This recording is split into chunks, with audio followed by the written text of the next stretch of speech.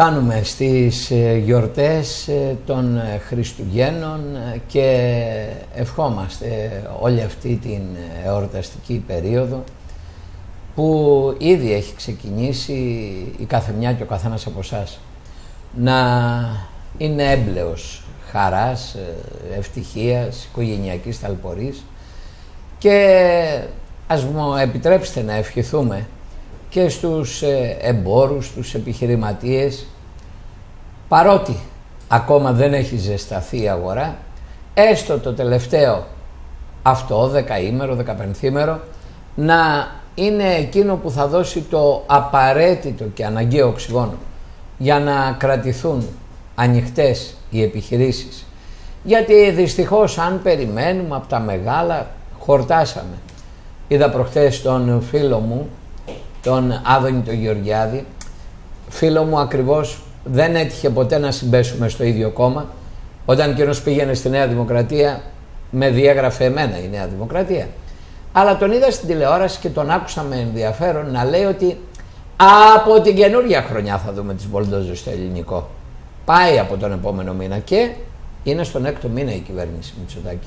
Και εκείνος στον έκτο μήνα υπουργός Ανάπτυξης. Εν πάση περιπτώσει, Λέω λοιπόν, οι ευχές αγγίζουν περισσότερο όλους τους βιοπαλαιστές οι οποίοι δεν έχουν άλλους τρόπους, δεν έχουν μαύρα γιατί ήρθαν επίσημα στοιχεία αυτή τη βδομάδα στο φως της δημοσιότητας και λένε ότι πολύ καλά κρατεί η παραοικονομία και επί των αρίστων. 30% λέει η παραοικονομία μαύρο χρήμα. Όσοι λοιπόν έχουν τέτοιο ένα στα τέσσερα πακέτα τσιγάρα είναι λαθρέα. Όσοι έχουν τέτοιες δουλειές, όσοι κάνουν αυτά και άλλα και άλλα και άλλα και αυτά δεν τα κάνουν οι μικροί, δεν τα κάνουν τα βαποράκια, τα κάνουν οι μεγάλοι όπως ξέρετε. Εκείνοι λοιπόν καλά θα περάσουν τα Χριστούγεννα, είναι εξασφαλισμένοι. Όσοι πήραν δάνεια και δεν τα γυρίσανε ποτέ πίσω και αυτοί να δείτε τι καλά είναι. Για εκείνους όμως που πήραν δάνεια και τα πλήρωναν όλα τα χρόνια μέχρι που ήρθε η καταραμένη η κρίση και που μπορεί να έχουν πληρώσει το μισό και πάνω από το μισό. Τουλάχιστον μαζί με τους τόπους σίγουρα. Για εκείνους απόψε έχουμε παρακαλέσει τον Κυριάκο τον Ντόμπρα να μας μιλήσει αναλυτικά, να μας προειδοποιήσει, να ξέρουμε τι γίνεται, τι μας περιμένει γιατί ακούμε για ημιθέους, τον Ηρακλή, το Θησέα, δεν ξέρω ποιον άλλον από την αρχαία μυθολογία και φοβάμαι ότι ένας μύθος δυστυχώς θα είναι για όλους εμάς και μια πολύ ωραία καινούρια μάσα για τους γνωστούς. Θα παρουσιάσω τους καλεσμένους αφού σας πω ότι στο Ντάσκας τελεία Ντάσκας Press είναι το όνομα του Γιάννη του Ντάσκα, Ντάσκα Press. Θα μπορείτε να βλέπετε και τις εκπομπές μας όσοι από εσάς την είδατε, θέλετε να πείτε σε ένα φίλο να την δει. Εκτός λοιπόν από όλα αυτά τα συμμαχικά, τα περιφερειακά κανάλια, εκτός από την Θεσσαλονίκη και τη Μακεδονία που μας βλέπει από άκρου εις άκρο, αλλά και στην Κρήτη και στην Πελοπόννησο και στα Δωδεκάνησα και στα Ιόνια, η Net έχει την μεγάλη συμβολή και ευχαριστούμε πολύ σε αυτό και το Euro Channel του Ρίγα Φεραίου. Τώρα με το Daskas Press θα μπορείτε ανα πάσα στιγμή να βλέπετε τις εκπομπές όποια ώρα, όποια μέρα εσείς θέλετε. Όμως όταν θα μπείτε στο Daskas Press θα ανακαλύψετε και ένα άλλο θησαυρό. Μια κυρία σύζυγος ενός ε, λαδοτήρι όπως γράφει ο Ντάσκας, λαδοτήρι της Siemens, που πήγε φυλακή τώρα τις προηγούμενες μέρες γιατί η μάσα που έπεσε από τη Siemens λέει καλά ρε παιδιά λέει βάζετε εμάς τους δωρεοδότες που δώσαμε τα δωράκια φυλακή και τους δωρεολήπτες εκείνους που πήραν τα δωράκια τι τους κάνετε; Πρωθυπουργούς, υπουργούς τι τους κάνετε; Αγανακτισμένη όταν μπήκε στη φυλακή η κυρία του λαδοτηριού Τότε είδε το φως το αληθινό. Αυτά θα μας τα πει ο Γιάννης Σοντάσκας. Εγώ σταματώ. Απόψε έχουμε και έναν ακόμα στην παρέα, τον Πάρη τον Κουρτσίδη, ο οποίος καινούριε αποκαλύψεις θα πει και προς το τέλος θα ακούσουμε τηλεφωνικά τον Πέτρο τον Κουσουλό αφού αρκετοί και αρκετές ζητήσατε να μάθετε τι γίνεται με αυτή την ομοιρία κοντομινά. Ποιοι είναι από πίσω, τι γίνεται με τον Κρίσο, ποιοι θέλουν να φάνε την περιουσία του. Τι είναι όλο τούτο εδώ που ζούμε. Μας θυμίζει και άλλες περιπτώσεις. Θα έχουμε πολλές ανακαλύψεις ακόμα. Ήθελα όμως ε, να πω ότι ο καιρός που βελτιώθηκε τόσο πολύ, δυστυχώς από την άλλη, ε, διευκόλυνε και επίφξησε την παράνομη μετανάστευση από τον Εύρο. Και αυτά δεν τα λένε εκείνοι όσοι δήθεν φοβούνται και κάνουν και ράνουν και μισούν τους ανθρώπους και τους μετανάστες όλα αυτά που λένε έτσι γνωστοί. Τα είπε εδώ, τα επίσημα στοιχεία. Αυξήθηκαν και ταιριάζουν λέει τα νούμερα στο πρώτο κύμα που έμπαινε από τον Εύρο το 2015. 5, 6, 7, 8, 9, 10 χιλιάδες από τον Εύρο. Στο Κιλκής πάει να γίνει μια άλλη πόλη και σε όλες τις πόλεις εκεί γύρω. Και κατά τα άλλα, αγαπητές φίλες και φίλοι, εσείς, οι περισσότεροι τουλάχιστον, όπως και εγώ, είχαμε βγει στις πλατείες και φωνάζαμε η Μακεδονία είναι μία και ελληνική. Και μαζί μας ήταν και ο Άνθιμος, μαζί μας ήταν και δεσποτάδες και παπάδες και αυτά. Τώρα το Αιγαίο είναι δύο. Δεν είναι ένα και ελληνικό. Εσύ, εσύ που με βλέπεις και εγώ. Γιατί δεν λέμε το ίδιο; Μήπως όλη η φασαρία ήταν για να έρθει το δικό μας κόμμα, να φύγει το άλλο κόμμα και εκεί τελείωσε το πατριωτικό φρόνημα; Τώρα μπορούμε να λέμε το Αιγαίο ανήκει στα ψάρια του που λέγε και ο Αιδός, ο Γιώργης Ονταλάρας. Δεν ξέρω. Λοιπόν, θα μου επιτρέψετε να ξεκινήσω με τον ε, Κυριάκο τον Ντόμπρα. Κυριάκο, καλώς ήρθες, χρόνια πολλά. Καλησπέρα, καλησπέρα. Ε, δεν είναι ευχάριστο χρόνια το πολλά θέμα και στους τηλεθεατές μας. που θα σε παρακαλέσω Ε, μάμα ήταν ευχάριστο. να μας βάλεις στο πνεύμα και ο Ντάσκας και εν συνεχεία και εγώ θα, κάνουμε, θα μεταφέρουμε ερωτήματα από τους τηλεθεατές και τις τηλεθεάτριες που όλη αυτή τη βδομάδα ζήτησαν κυριολεκτικώς για να μάθουν. Για να μάθουν να ξέρουν τι τους περιμένει. Αν η πρώτη τους κατοικία είναι καλυμμένη, αν ο Ηρακλής νοιάζεται και για αυτούς ή θα τους πάει η Λερναία Ήδρα και αν προπαντός και κυρίως αυτές οι εγγυήσεις του δημοσίου έχουν να κάνουν και ε, μπορούν να νιώθουν και οι ίδιοι ότι υπάρχει μια ομπρέλα και για αυτούς. Ότι ο Σταϊκούρας, ότι ο Μητσοτάκης, ότι αυτοί έλαβαν υπόψη τους και αυτούς και άρα πουτσά στραβά όπως θα πήγαν όλα αυτά τα χρόνια και δεν τους πήραν το σπίτι, ότι δεν θα τους το πάρουν από Γενάρη όσοι αδυνατούν να πληρώσουν τις δόσεις τους. Είναι δυστυχώς αντίθετα τα πράγματα από ό,τι είπες, αγαπητέ μου Νίκο. Δεν είναι ότι δεν θα τους το πάρουν από το Γενάρη. Είναι όσοι μέχρι σήμερα δεν έχουν χάσει το σπίτι τους στον πληστηριασμό, θα κινδυνεύσουν να το χάσουν από το Γενάρη με αυτό που έγινε με το σχέδιο Ρακλής. Αυτή είναι δυστυχώς η πραγματικότητα. Οι ειδήσεις δεν είναι ευχάριστες. Και μου είπες ότι εδώ οι ειδήσεις που δίνουμε και η επικαιρότητα που αναλύουμε δεν είναι ευχάριστη.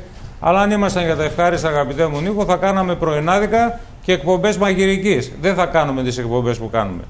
Πάμε όμως να δούμε τώρα για το σχέδιο Ηρακλή, που έχει πάρα πολύ μεγάλη σημασία να καταλάβει ο κόσμος τι ακριβώς συμβαίνει με το σχέδιο Ηρακλής και τι πρόκειται να έρθει, γιατί υπάρχουν ένα σωρό ανειδίκευτοι κομπογιανίτες που βγαίνουν στις τηλεοράσεις και στις εφημερίδες και στα site από τα συστημικά μέχρι τα περιθωριακά και λένε ένα σωρό βλακίες για το σχέδιο Ηρακλής που δεν έχουν καμία σχέση με την πραγματικότητα και στην ουσία γίνονται λαγοί των τραπεζών από προσανατολίζοντας τον κόσμο. Εμείς λοιπόν σήμερα με απλά λόγια, δεν χρειάζεται να τα λέμε τεχνοκρατικά για να μην τα καταλαβαίνει ο κόσμος, με απλά λόγια μπακάλικα θα εξηγήσουμε στον κόσμο τι ακριβώς θα γίνει με το σχέδιο Ηρακλής και τι δεν ισχύει από αυτά που τους λένε. Να δούμε ένα βίντεο ένα λεπτό. Να το λοιπόν, δούμε. αν είμαστε έτοιμοι, παρακαλώ το τελευταίο βίντεο, το βίντεο 6, να, να δούμε έτσι για ένα-δύο λεπτά και να συνεχίσει αμέσως ο Κυριάκος ο Τόμπρας. Καταρχήν ε, είναι ένα νομοσχέδιο για το οποίο δεν έχουμε κληθεί, ε, να εκφράσουμε την άποψη ως ε, καταναλωτικό κίνημα.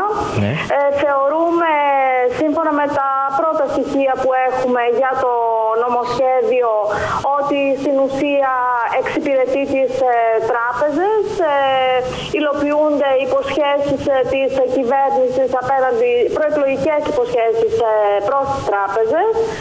Για τους ε, καταναλωτές, για τους δανειολήπτες, ε, θε- δεν υπάρχει κάτι που να αναφέρεται στο συγκεκριμένο νομοσχέδιο.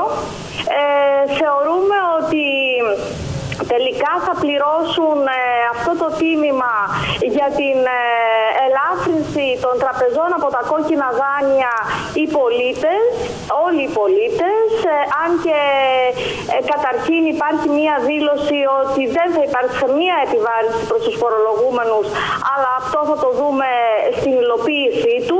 Υπάρχουν πολλά α- ασαφή σημεία στο συγκεκριμένο νομοσχέδιο για το οποίο μάλιστα ε, και η Ευρωπαϊκή Κεντρική Τράπεζα εκφράστηκε προς την κυβέρνηση ε, εκδηλώνοντας αυτές, οι- αυτά τα σημεία και ζητώντας διευκρινήσεις για αυτά τα, τα αμφισβητούμενα σημεία του νομοσχεδίου. Το σχέδιο Ερακλής είναι ένα σχέδιο με σκοπό την εξυγίανση του τραπεζικού συστήματος, στοχεύει στη δραστική μείωση των μη εξυπηρετούμενων ανοιγμάτων των γνωστών κόκκινων δανείων, αναφέρουν βουλευτές της Νέας Δημοκρατίας. Μια οικονομία που επιτέλους αρχίζει να στυλώνεται στα πόδια της ξανά, αλλά που χρειάζεται ισχυρές ρίζες για να απλωθεί και να μεγεθυνθεί. Και όλοι γνωρίζουμε ότι για να επιτευχθεί αυτό πρέπει να αντιμετωπιστεί η μεγαλύτερη παθογένεια μέχρι σήμερα, αυτή των μη εξυπηρετούμενων δανείων. Γιατί η επιτυχής έξοδος από τα προγράμματα δημοσιονομικής εποπτείας δεν θα είναι ολοκληρωμένη εάν αυτό το πρόβλημα του τραπεζικού μας συστήματος δεν αντιμετωπιστεί με έγκαιρο και αποτελεσματικό τρόπο.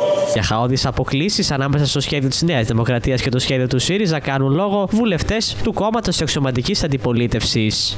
Ήρθε ως κατεπήγον σήμερα με μία μόνο σύσκεψη της αρμόδιας επιτροπής, ε, χωρίς καμία διαβούλευση, χωρίς να κληθούν ε, οι αρμόδιοι και σχετικοί φορείς, ούτε οι καταναλωτές, ούτε οι τράπεζες. Ε, με ένα νομοσχέδιο το οποίο έφτασε ε, σε εμάς προς ενημέρωσή μας εχθές στις 11 η ώρα το βράδυ.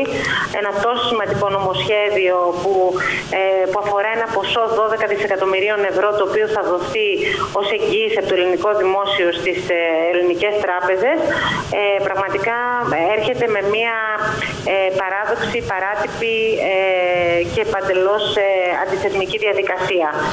Ε, η, πληρο... η, η ενημέρωσή μας ε, πραγματικά ήταν της τελευταίας στιγμής και δεν είναι καθόλου πλήρης και βέβαια δεν δίνει και ο χρόνος στους βουλευτές ε, να πάρουν θέση για το νομοσχέδιο και να γίνει η σωστή συζήτηση στη Βουλή όπως πρέπει να γίνεται Λοιπόν, πήραμε μια γεύση έτσι και από το ρεπορτάζ των προηγούμενων ημερών γιατί το νομοσχέδιο αυτό λέει έπρεπε κατεπηγόντως να ψηφιστεί μέσα σε λίγες ώρες.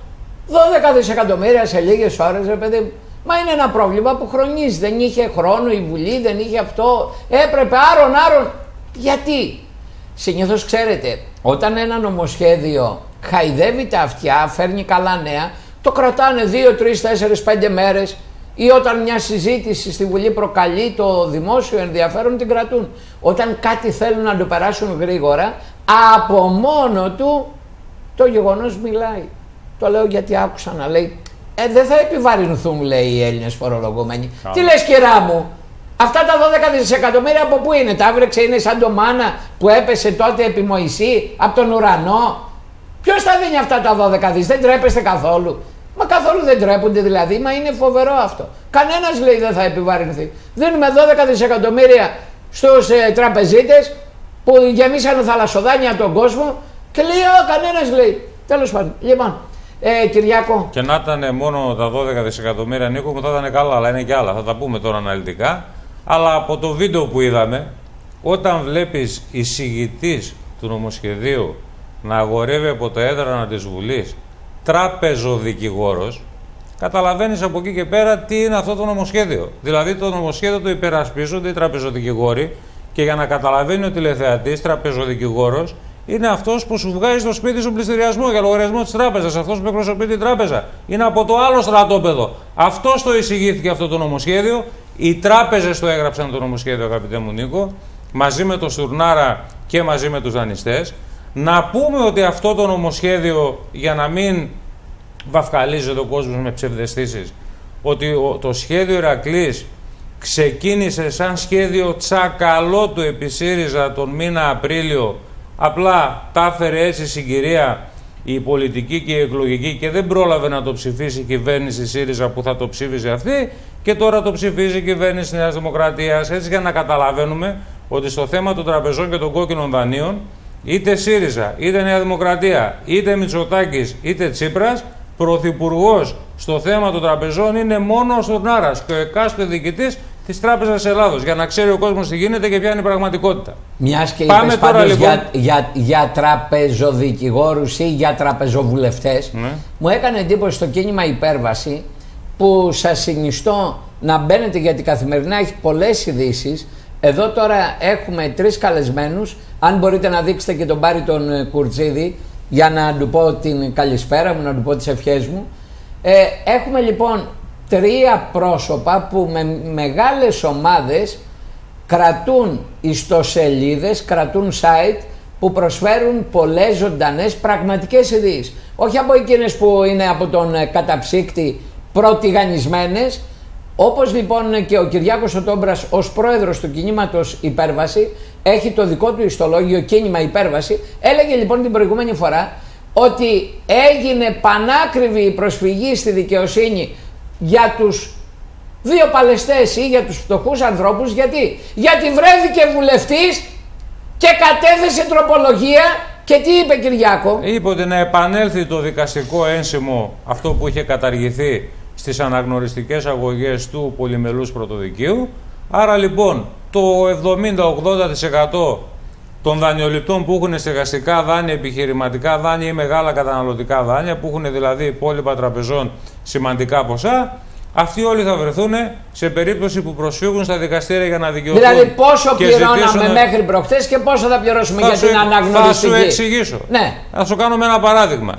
Μία υπόθεση των 100.000 ευρώ, έτσι για να λέμε τώρα αποζημίωση 100.000 ευρώ, μέχρι προχτές είχε μόνο το γραμμάτιο του δικηγόρου που κόστησε 750 ευρώ. Τώρα λοιπόν με το δικαστικό ένσημο επιβαρύνεται η εκδίκηση κατά περίπου 1%. Δηλαδή άλλο ένα χιλιάρικο. Τα 750 ευρώ λοιπόν για το δανειολήπτη, για τον φτωχό πολίτη που δεν μπορούσε σήμερα να βρει αυτά τα 700-750 ευρώ για να προσφύγει στη δικαιοσύνη για να δικαιωθεί, αυτά γίνονται 1750 αυτή τη στιγμή.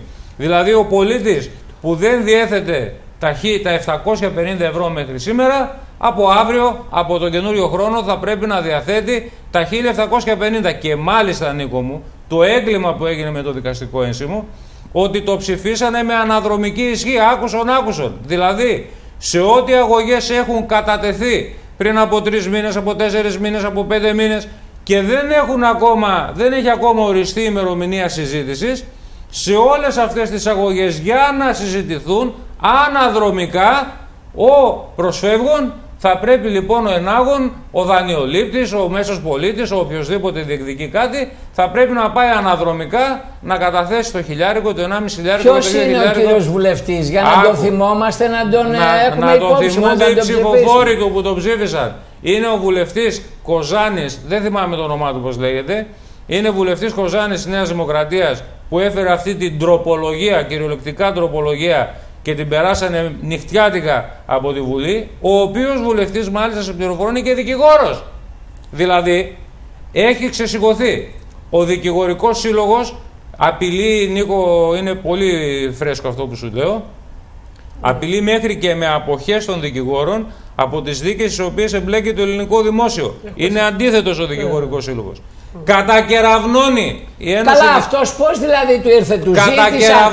Οι δανειολήπτες πήγανε και το είπαν κύριε Βουλευτά, Κατακεραυνώνει η δηλαδή, Ένωση. Κατακεραυνώνει, κατακεραυνώνει το δικαστικό ένσημο η Ένωση Εισαγγελίων και Δικαστών. Ο Σεβαστίδης που βγήκε προχθές και έκανε την ομιλία, δεν ξέρω αν την ακούσατε, το κατακεραυνώνει. Μιλάει για δικαστικούς καλλικράτες οι οποίοι θα κάνουν τη δικαιοσύνη να δουλεύει à la carte Μιλ- Και μιλάει για το θέμα του δικαστικού ενσύμου και λέει ξεκάθαρα ότι δυσχεραίνει την πρόσβαση του πολίτη στη δικαιοσύνη. Δηλαδή εδώ είναι- τίθεται ένα θέμα δημοκρατίας. Όποιος έχει λεφτά θα πηγαίνει στα δικαστήρια και θα δικαιώνεται και όποιος δεν έχει λεφτά θα ρουφάει το αυγό του.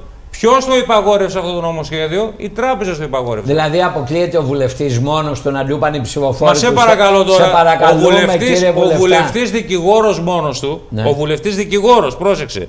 Τι σημαίνει βουλευτής δικηγόρος, ότι αυτό που ψήφισε, αυτή η τροπολογία που έφερε, είναι αντίθετη προς τα προσωπικά του επαγγελματικά συμφέροντα. Γιατί αν ο πολίτης δεν μπορεί να προσφύγει στη δικαιοσύνη, αυτός ο δικηγόρος δεν θα έχει δουλειά. Τόσο απλά είναι τα πράγματα.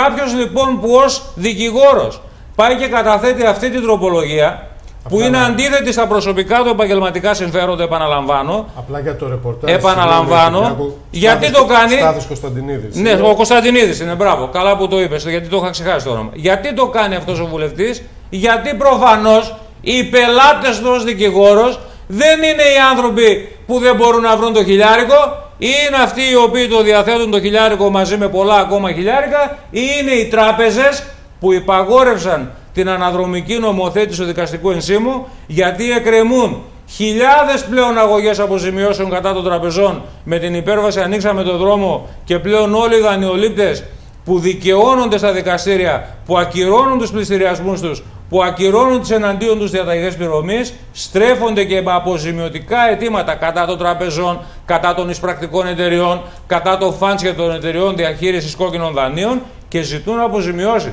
Και προκειμένου ο πολίτης να μην μπορεί να διεκδικήσει την αποζημίωσή του από αυτούς τους απατεώνες που σήμερα έχουν βαφτιστεί τραπεζίτες, φάντζες, πρακτικές και δεν ξέρω εγώ τι άλλο, φέρανε το δικαστικό ένσημο με αναδρομική ισχύ.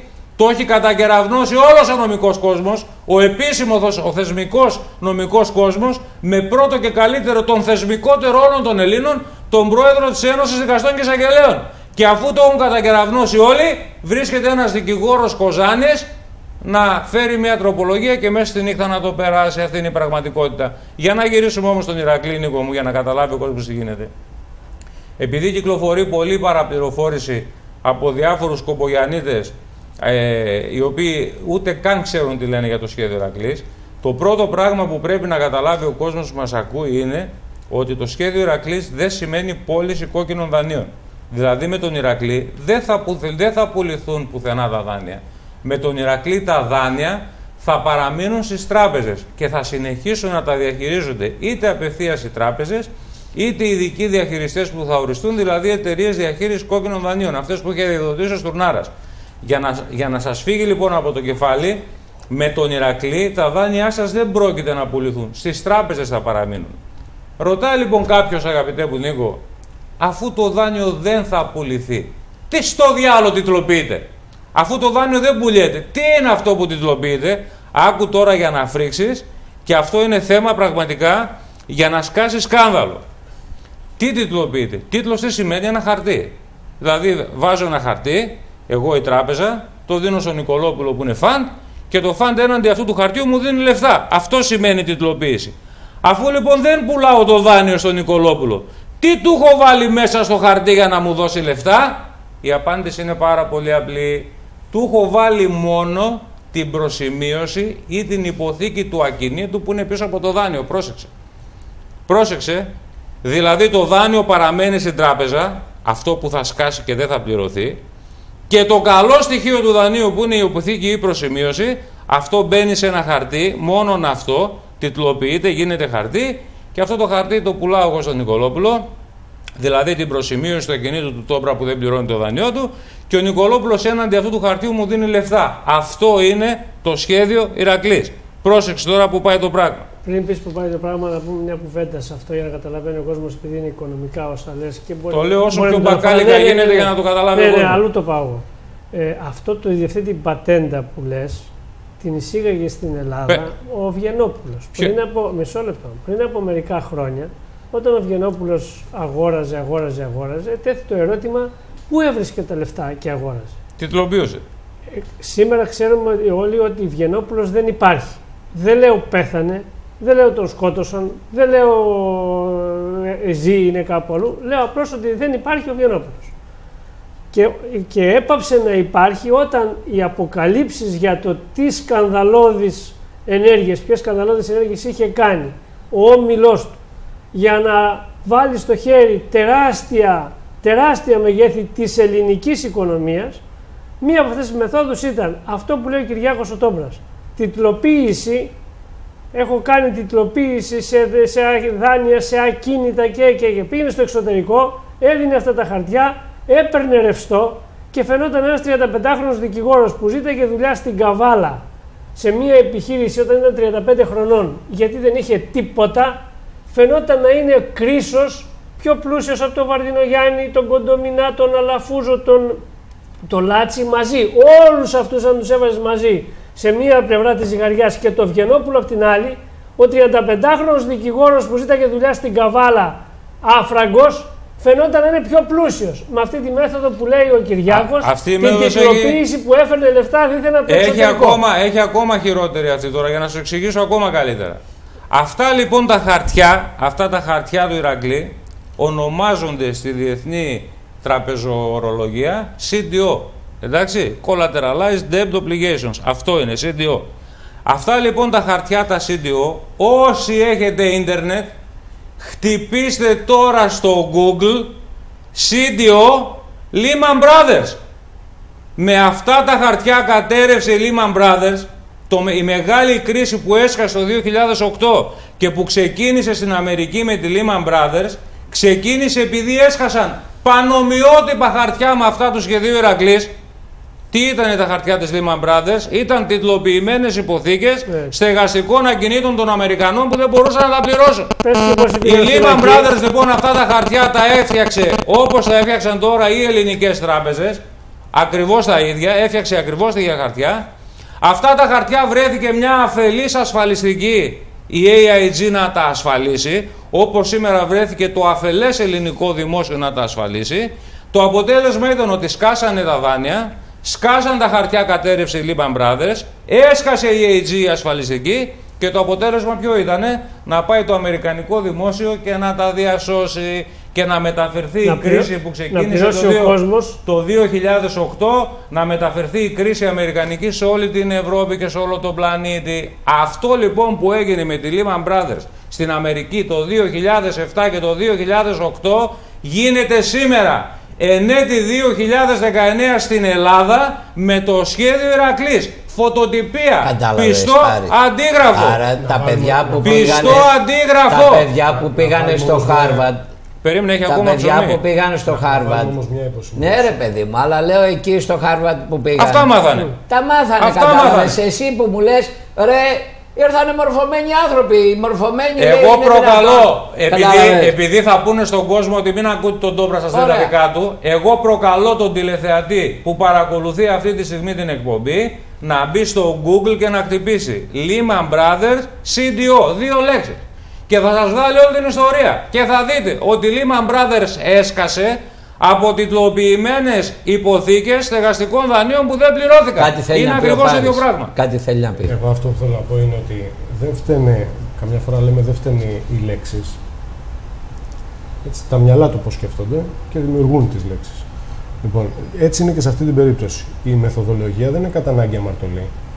Πρέπει να δούμε σε τι τιμές ακινήτων έχουν γίνει αυτές τις τηλεοποίησεις. Δηλαδή στην Αμερική έσκασε η αγορά ακινήτων, ήταν υπερτιμημένα. Αν εδώ έχουν γίνει σε ρεαλιστικές τιμές. Περίμενε, θα, θα φτάσουμε τώρα. Δεν είναι κατά ανάγκη κάτι το οποίο θα καταρρεύσει. Πρώτον. Δεύτερον είναι τι όρους και κανόνες βάζεις. Μην το κάνουμε πολύ δύσκολο. Όχι, όχι το κάνω πάρα πολύ απλό. Ναι. Οι όροι και οι κανόνες τι έχουν να κάνουν; Με το αν αυτά δηλαδή, τα Δηλαδή μην το κάνουμε θεωρητικό θέλω. Δεν το κάνω καθόλου θεωρητικό. Ναι. Αυτά τα φαντ μαζί με τα πολιτικά πρόσωπα και τους εμπλεκόμενους τραπεζίτες, αν από πίσω έχει ένοχο χρήμα αν γίνεται διαπραγμάτευση. Ή αν γνώμονας είναι, θα το πω, μίζες. Έτσι. Να, να μην Υπερκέρδη. Πάμε να, τώρα. Να, γνώμονας θα το πούμε σε δεύτερο. Θα σου πω τώρα. Αν είναι γνώμονας η τακτοποίηση πραγματικά. Α, ποια τακτοποίηση. Θα την ακούσει Θα το πούμε αμέσως σε δεύτερη φάση. Εμείς τώρα εδώ θέλω να καταλάβουμε όσοι από εμάς έχουμε δάνεια.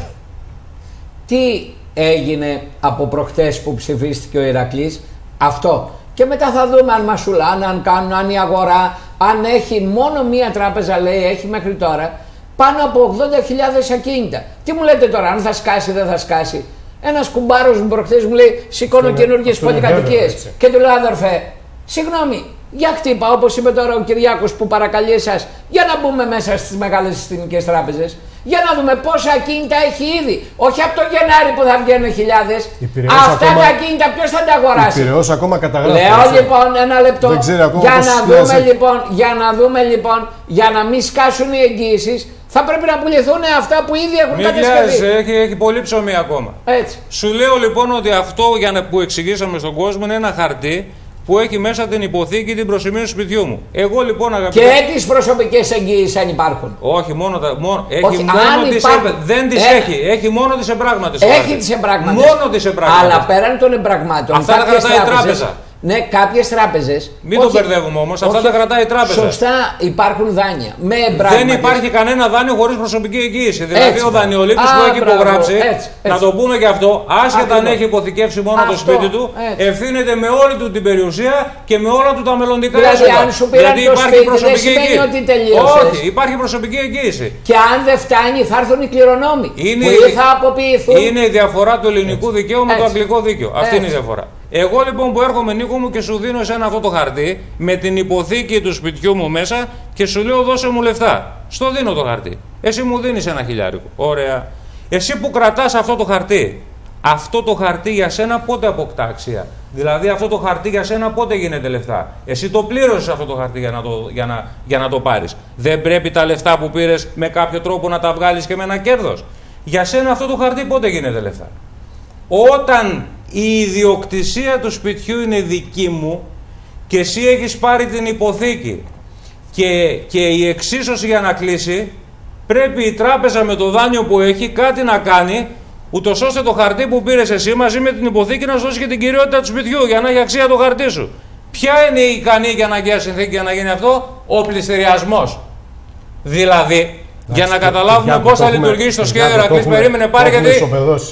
Άκουρας Το να σου έχουμε επιδόσει, είναι η δουλειά μου. Αν τώρα Εντάξει. θε να υπερασπιστείς την κυβέρνηση και Δεν θέλω να στρέφει υπερασπιστώ- κάτω. δεν θέλω να Σε υπερασπιστώ παρακαλώ, τίποτα. Θα πει, θα πει, εμένα θα είναι η πει. δουλειά μου. Δεν Θα θέλω να πει, υπερασπιστώ Εμένα είναι η τίποτα. δουλειά μου. Εγώ σου λέω γιατί εγώ τον Ηρακλή τον έχω διαβάσει πριν ψηφιστεί. Ναι, αλλά Όσο δεν τον είναι έφερε ο αυτές οι- Σακαλώτος. Κάνεις λάθος, δεν είναι αυτές οι αμοιβές. Δεν είναι αυτή Α, η δεν σου συμφωνία. μίλησα για αμοιβές, σου μίλησα ότι ο Ένα, ένα Νικολόπουλο. φαντάν πραγματικά Ναι. θέλει να λειτουργήσει Πάρη και μου, να μην, βγάλει μην κέρδος. παπαρολογούμε και μην ίδιο. πετάμε την μπάλα στην Σε εξέδρα. παρακαλώ πάρα πολύ. Μην σε πετάμε την παρακαλώ μπάλα στην πάρα εξέδρα. πολύ. Περί παπαρολογιών. Πετάς κάτω την εδώ για μπάλα σένα. στην εξέδρα. Δεν πετάω καμιά μπάλα. Σου λέω το να χαρτί μπορείς να αυτό- αντικρούσεις και ένα άλλο σου λέω επιχείρημα. το χαρτί Δεν αυτό- μπορείς να πετάς ένα παπαρολογίες Ναι, γιατί για να σου λέω αντικρούσεις το ένα χαρτί επιχείρημα. αυτό πότε αποκτά Σου λέω ότι αξία. οι αμοιβές δεν είναι έτσι. Μα Κάνεις δεν λάθος. μίλησα για αμοιβές, δεν ακούς τι λέω. Μα δεν αποκτά κατά ανάγκη έτσι αξία. Δεν χρειάζεται Πώς να θα αποκτήσει αποκτήσει έτσι αξία, κατά για ανάγκη εξήγησέ μου αξία. εσύ, πώς θα Πρέπει να αποκτήσει; δεις τις συμβάσεις. Ποιες συμβάσεις, πώς θα αποκτήσει αξία το χαρτί, σε ρωτάω. Καλά, πάει και εντάξει. εξοφλήσει. εντάξει. Το χαρτί Αν λοιπόν πάει- αποκτά αν- αξία. αν πάει και Εάν ξοφλήσει. ο δανειολήπτης ξοφλήσει, πού αποκλείεται. Εντάξει, όχι, Γιατί για αν- να απαντήσω εγώ Αν στον Πάρη. μπορούσε να ξοφλήσει το δάνειος, Να δεν θα ήταν κόκκινο. απαντήσω ένα Δεν λεπτό. είναι έτσι.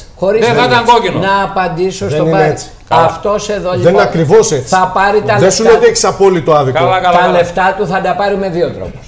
Ή θα πάω εγώ που πήρα το δάνειο και θα εξοφλήσω, αλλά όπως λέει ο Κυριάκος, αν είχα, θα το είχα κάνει όπως το Δεν έκανα θα είναι ήταν τα έτσι. κόκκινο. χρόνια. Δεν είναι έτσι, Νικόλ. Ποιο είναι το Λύνανε, τρίτο; θα σου απαντήσω. Το τρίτο. Λύνανε θέματα οι τράπεζες; Μην Το βιάζεσαι. τρίτο, Βάρη. Κάνανε πώς θα πάρω ρυθμίσεις τα σε λεφτά μου τράπεζες. πίσω είναι το Ο ερώτημα. Νικολόπουλος που το αγόρασε Το από το χαρτί, ερώτημα πώς θα σας- πάρει τα λεφτά σας του πίσω; εξηγώ. Εγώ βέβαια. πώς θα Σας πάρω; εξηγώ. Ένα, είμαι γιατί θα με εξοφλήσει εσύ. Σας εξηγώ. Οκ. Σας εξηγώ. Ναι, πες μας. Υπήρχε μεγάλη δυστοκία. Ας επί- το Πώς θα υπήρχε, πάρω πώς θα πάρει τα λεφτά μου πίσω, σε ρωτάει. Αυτό τέλος. Και μετά; Καταρχάς, κάθε σύμβαση έχει και αμοιβή και μόνο που διαχειρίζεσαι Πώς θα την κάνει πάρω δόση. τα Σου λεφτά; απάντησα ήδη, δεν το ακούς. Μα την προμήθεια. Σου λέω βεβαίως, Για δεν την είναι προμήθεια.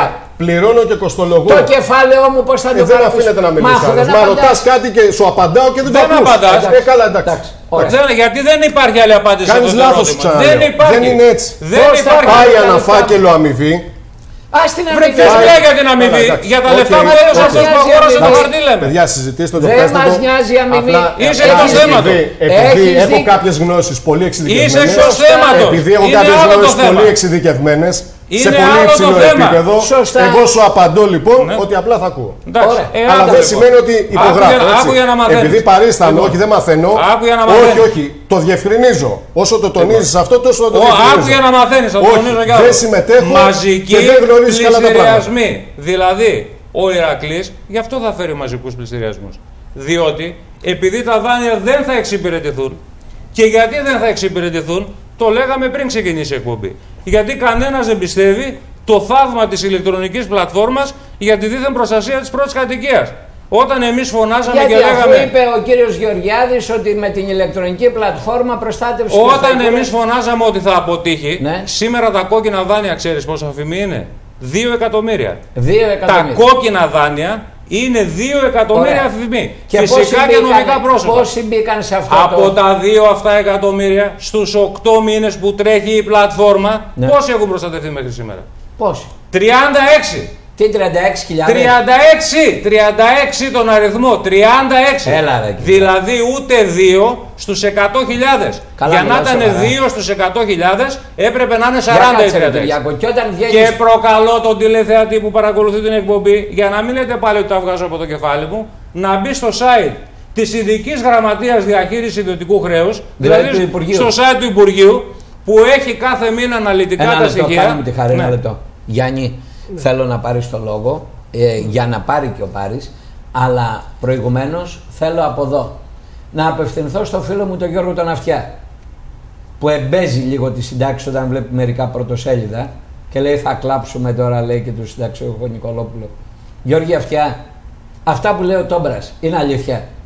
Σε ρωτάω ρε Γιώργη, αν είναι αλήθεια, αύριο το πρωί που θα βγεις όταν θα ξανακαλέσεις εκεί το Σταϊκούρα, τον ε, Άδωνη, Γιώργη Αυτιά, Γιώργη, σε σένα το φίλο μου τον Γιώργη μιλάω και το κάνω πολύ προσωπικό. Αν μόνο 36 άτομα από την πλατφόρμα που διαφήμιζες έχουν μπει, ε Γιώργη μου με συγχωρείς πολύ, νομίζω ότι πρέπει να ντρέπεσαι Γιώργο. Πρέπει να ντρέπεσαι Γιώργο. Αν είναι μόνο 36 και δεν το έχεις πει στην εκπομπή σου που τόσα εκατομμύρια Έλληνες το βλέπουν.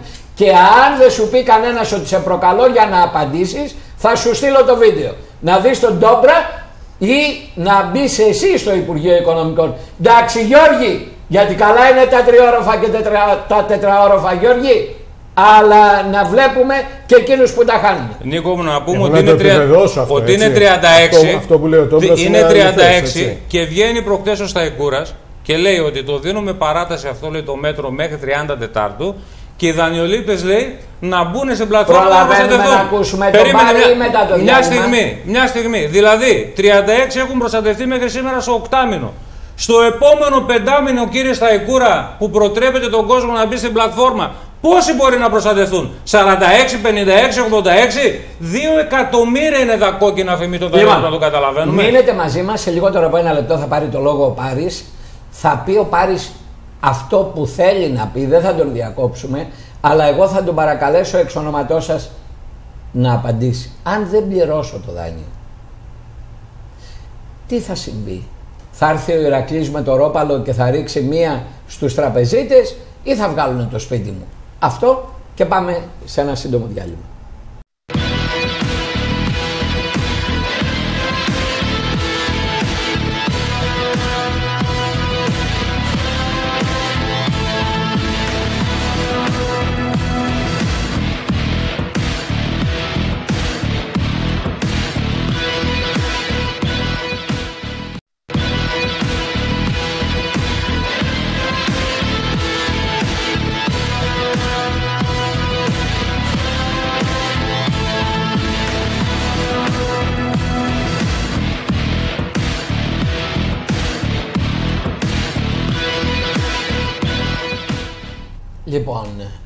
Αυτή η κουβέντα που είχε την ένταση που διαπιστώσατε και να σκεφτείτε ότι είμαστε φίλοι και η φιλία μας είναι γαλβανισμένη μέσα από κοινούς αγώνες.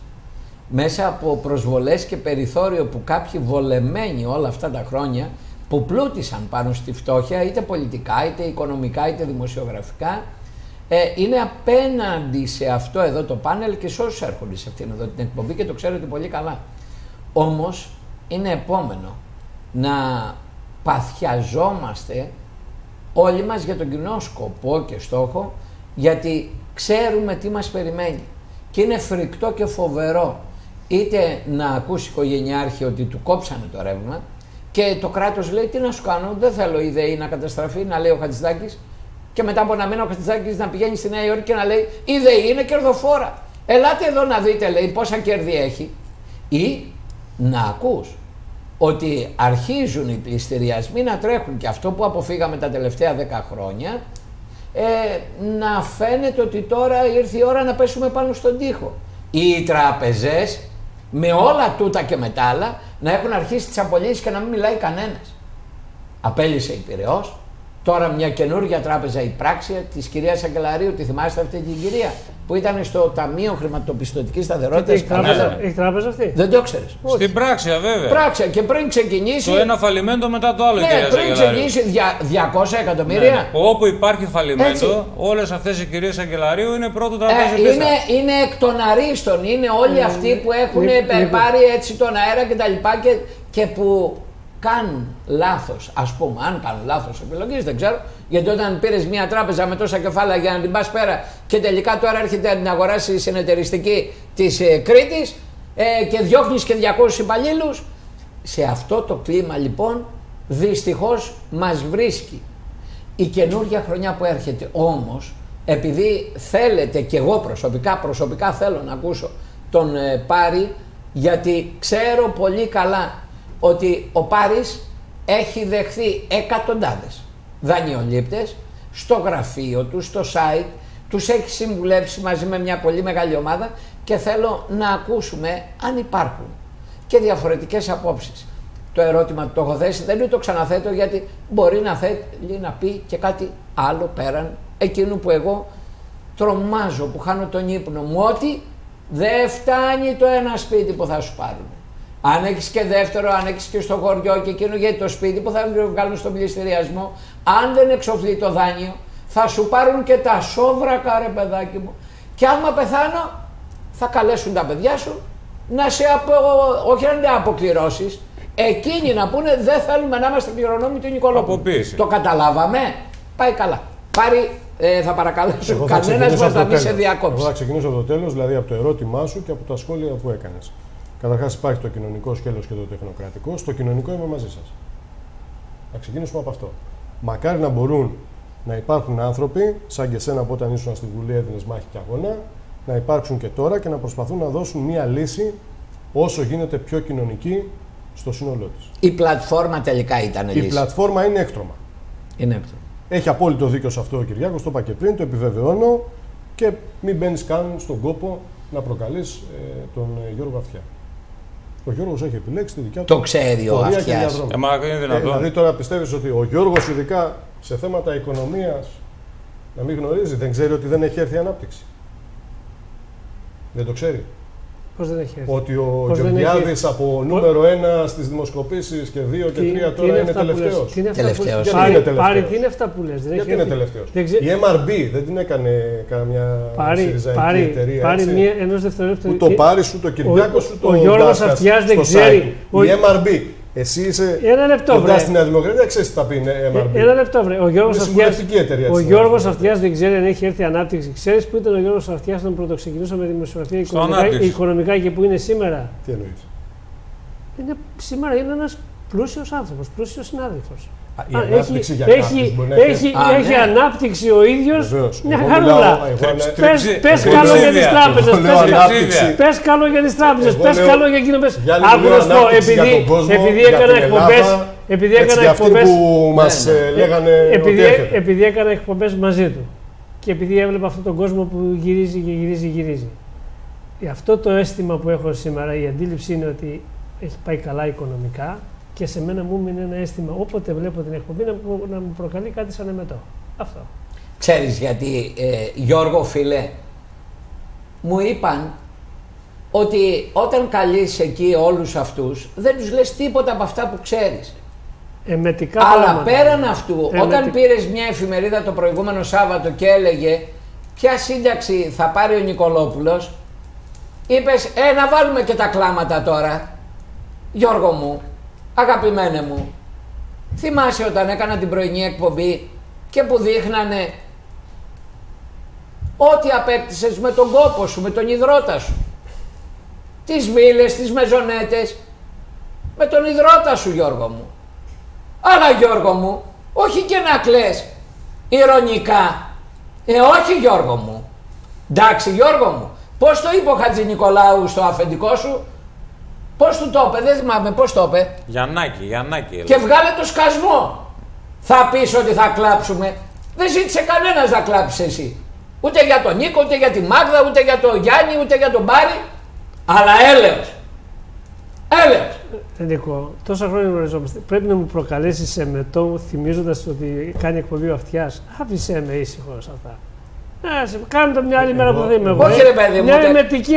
Μια Έλεος Εγώ, δηλαδή. αν μου Να επιτρέπετε. είναι Εμετική μόνο εκπομπή. 36 άνθρωποι να έχουν σωθεί και εσύ να λες ζήτω η πλατφόρμα. Και πώς σώθηκαν να δούμε. Σε παρακαλώ πολύ.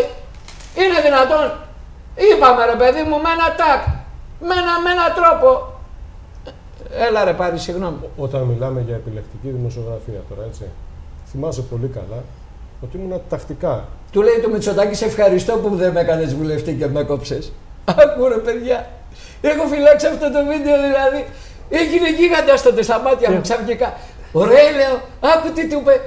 Του λέει κύριε Μητσοτάκη, ήθελα να είμαι βουλευτής. Όχι, και του είπε κιόλας ότι είχε και χιλιάδε. Το είπε ότι ήθελε να είναι ευρωβουλευτής.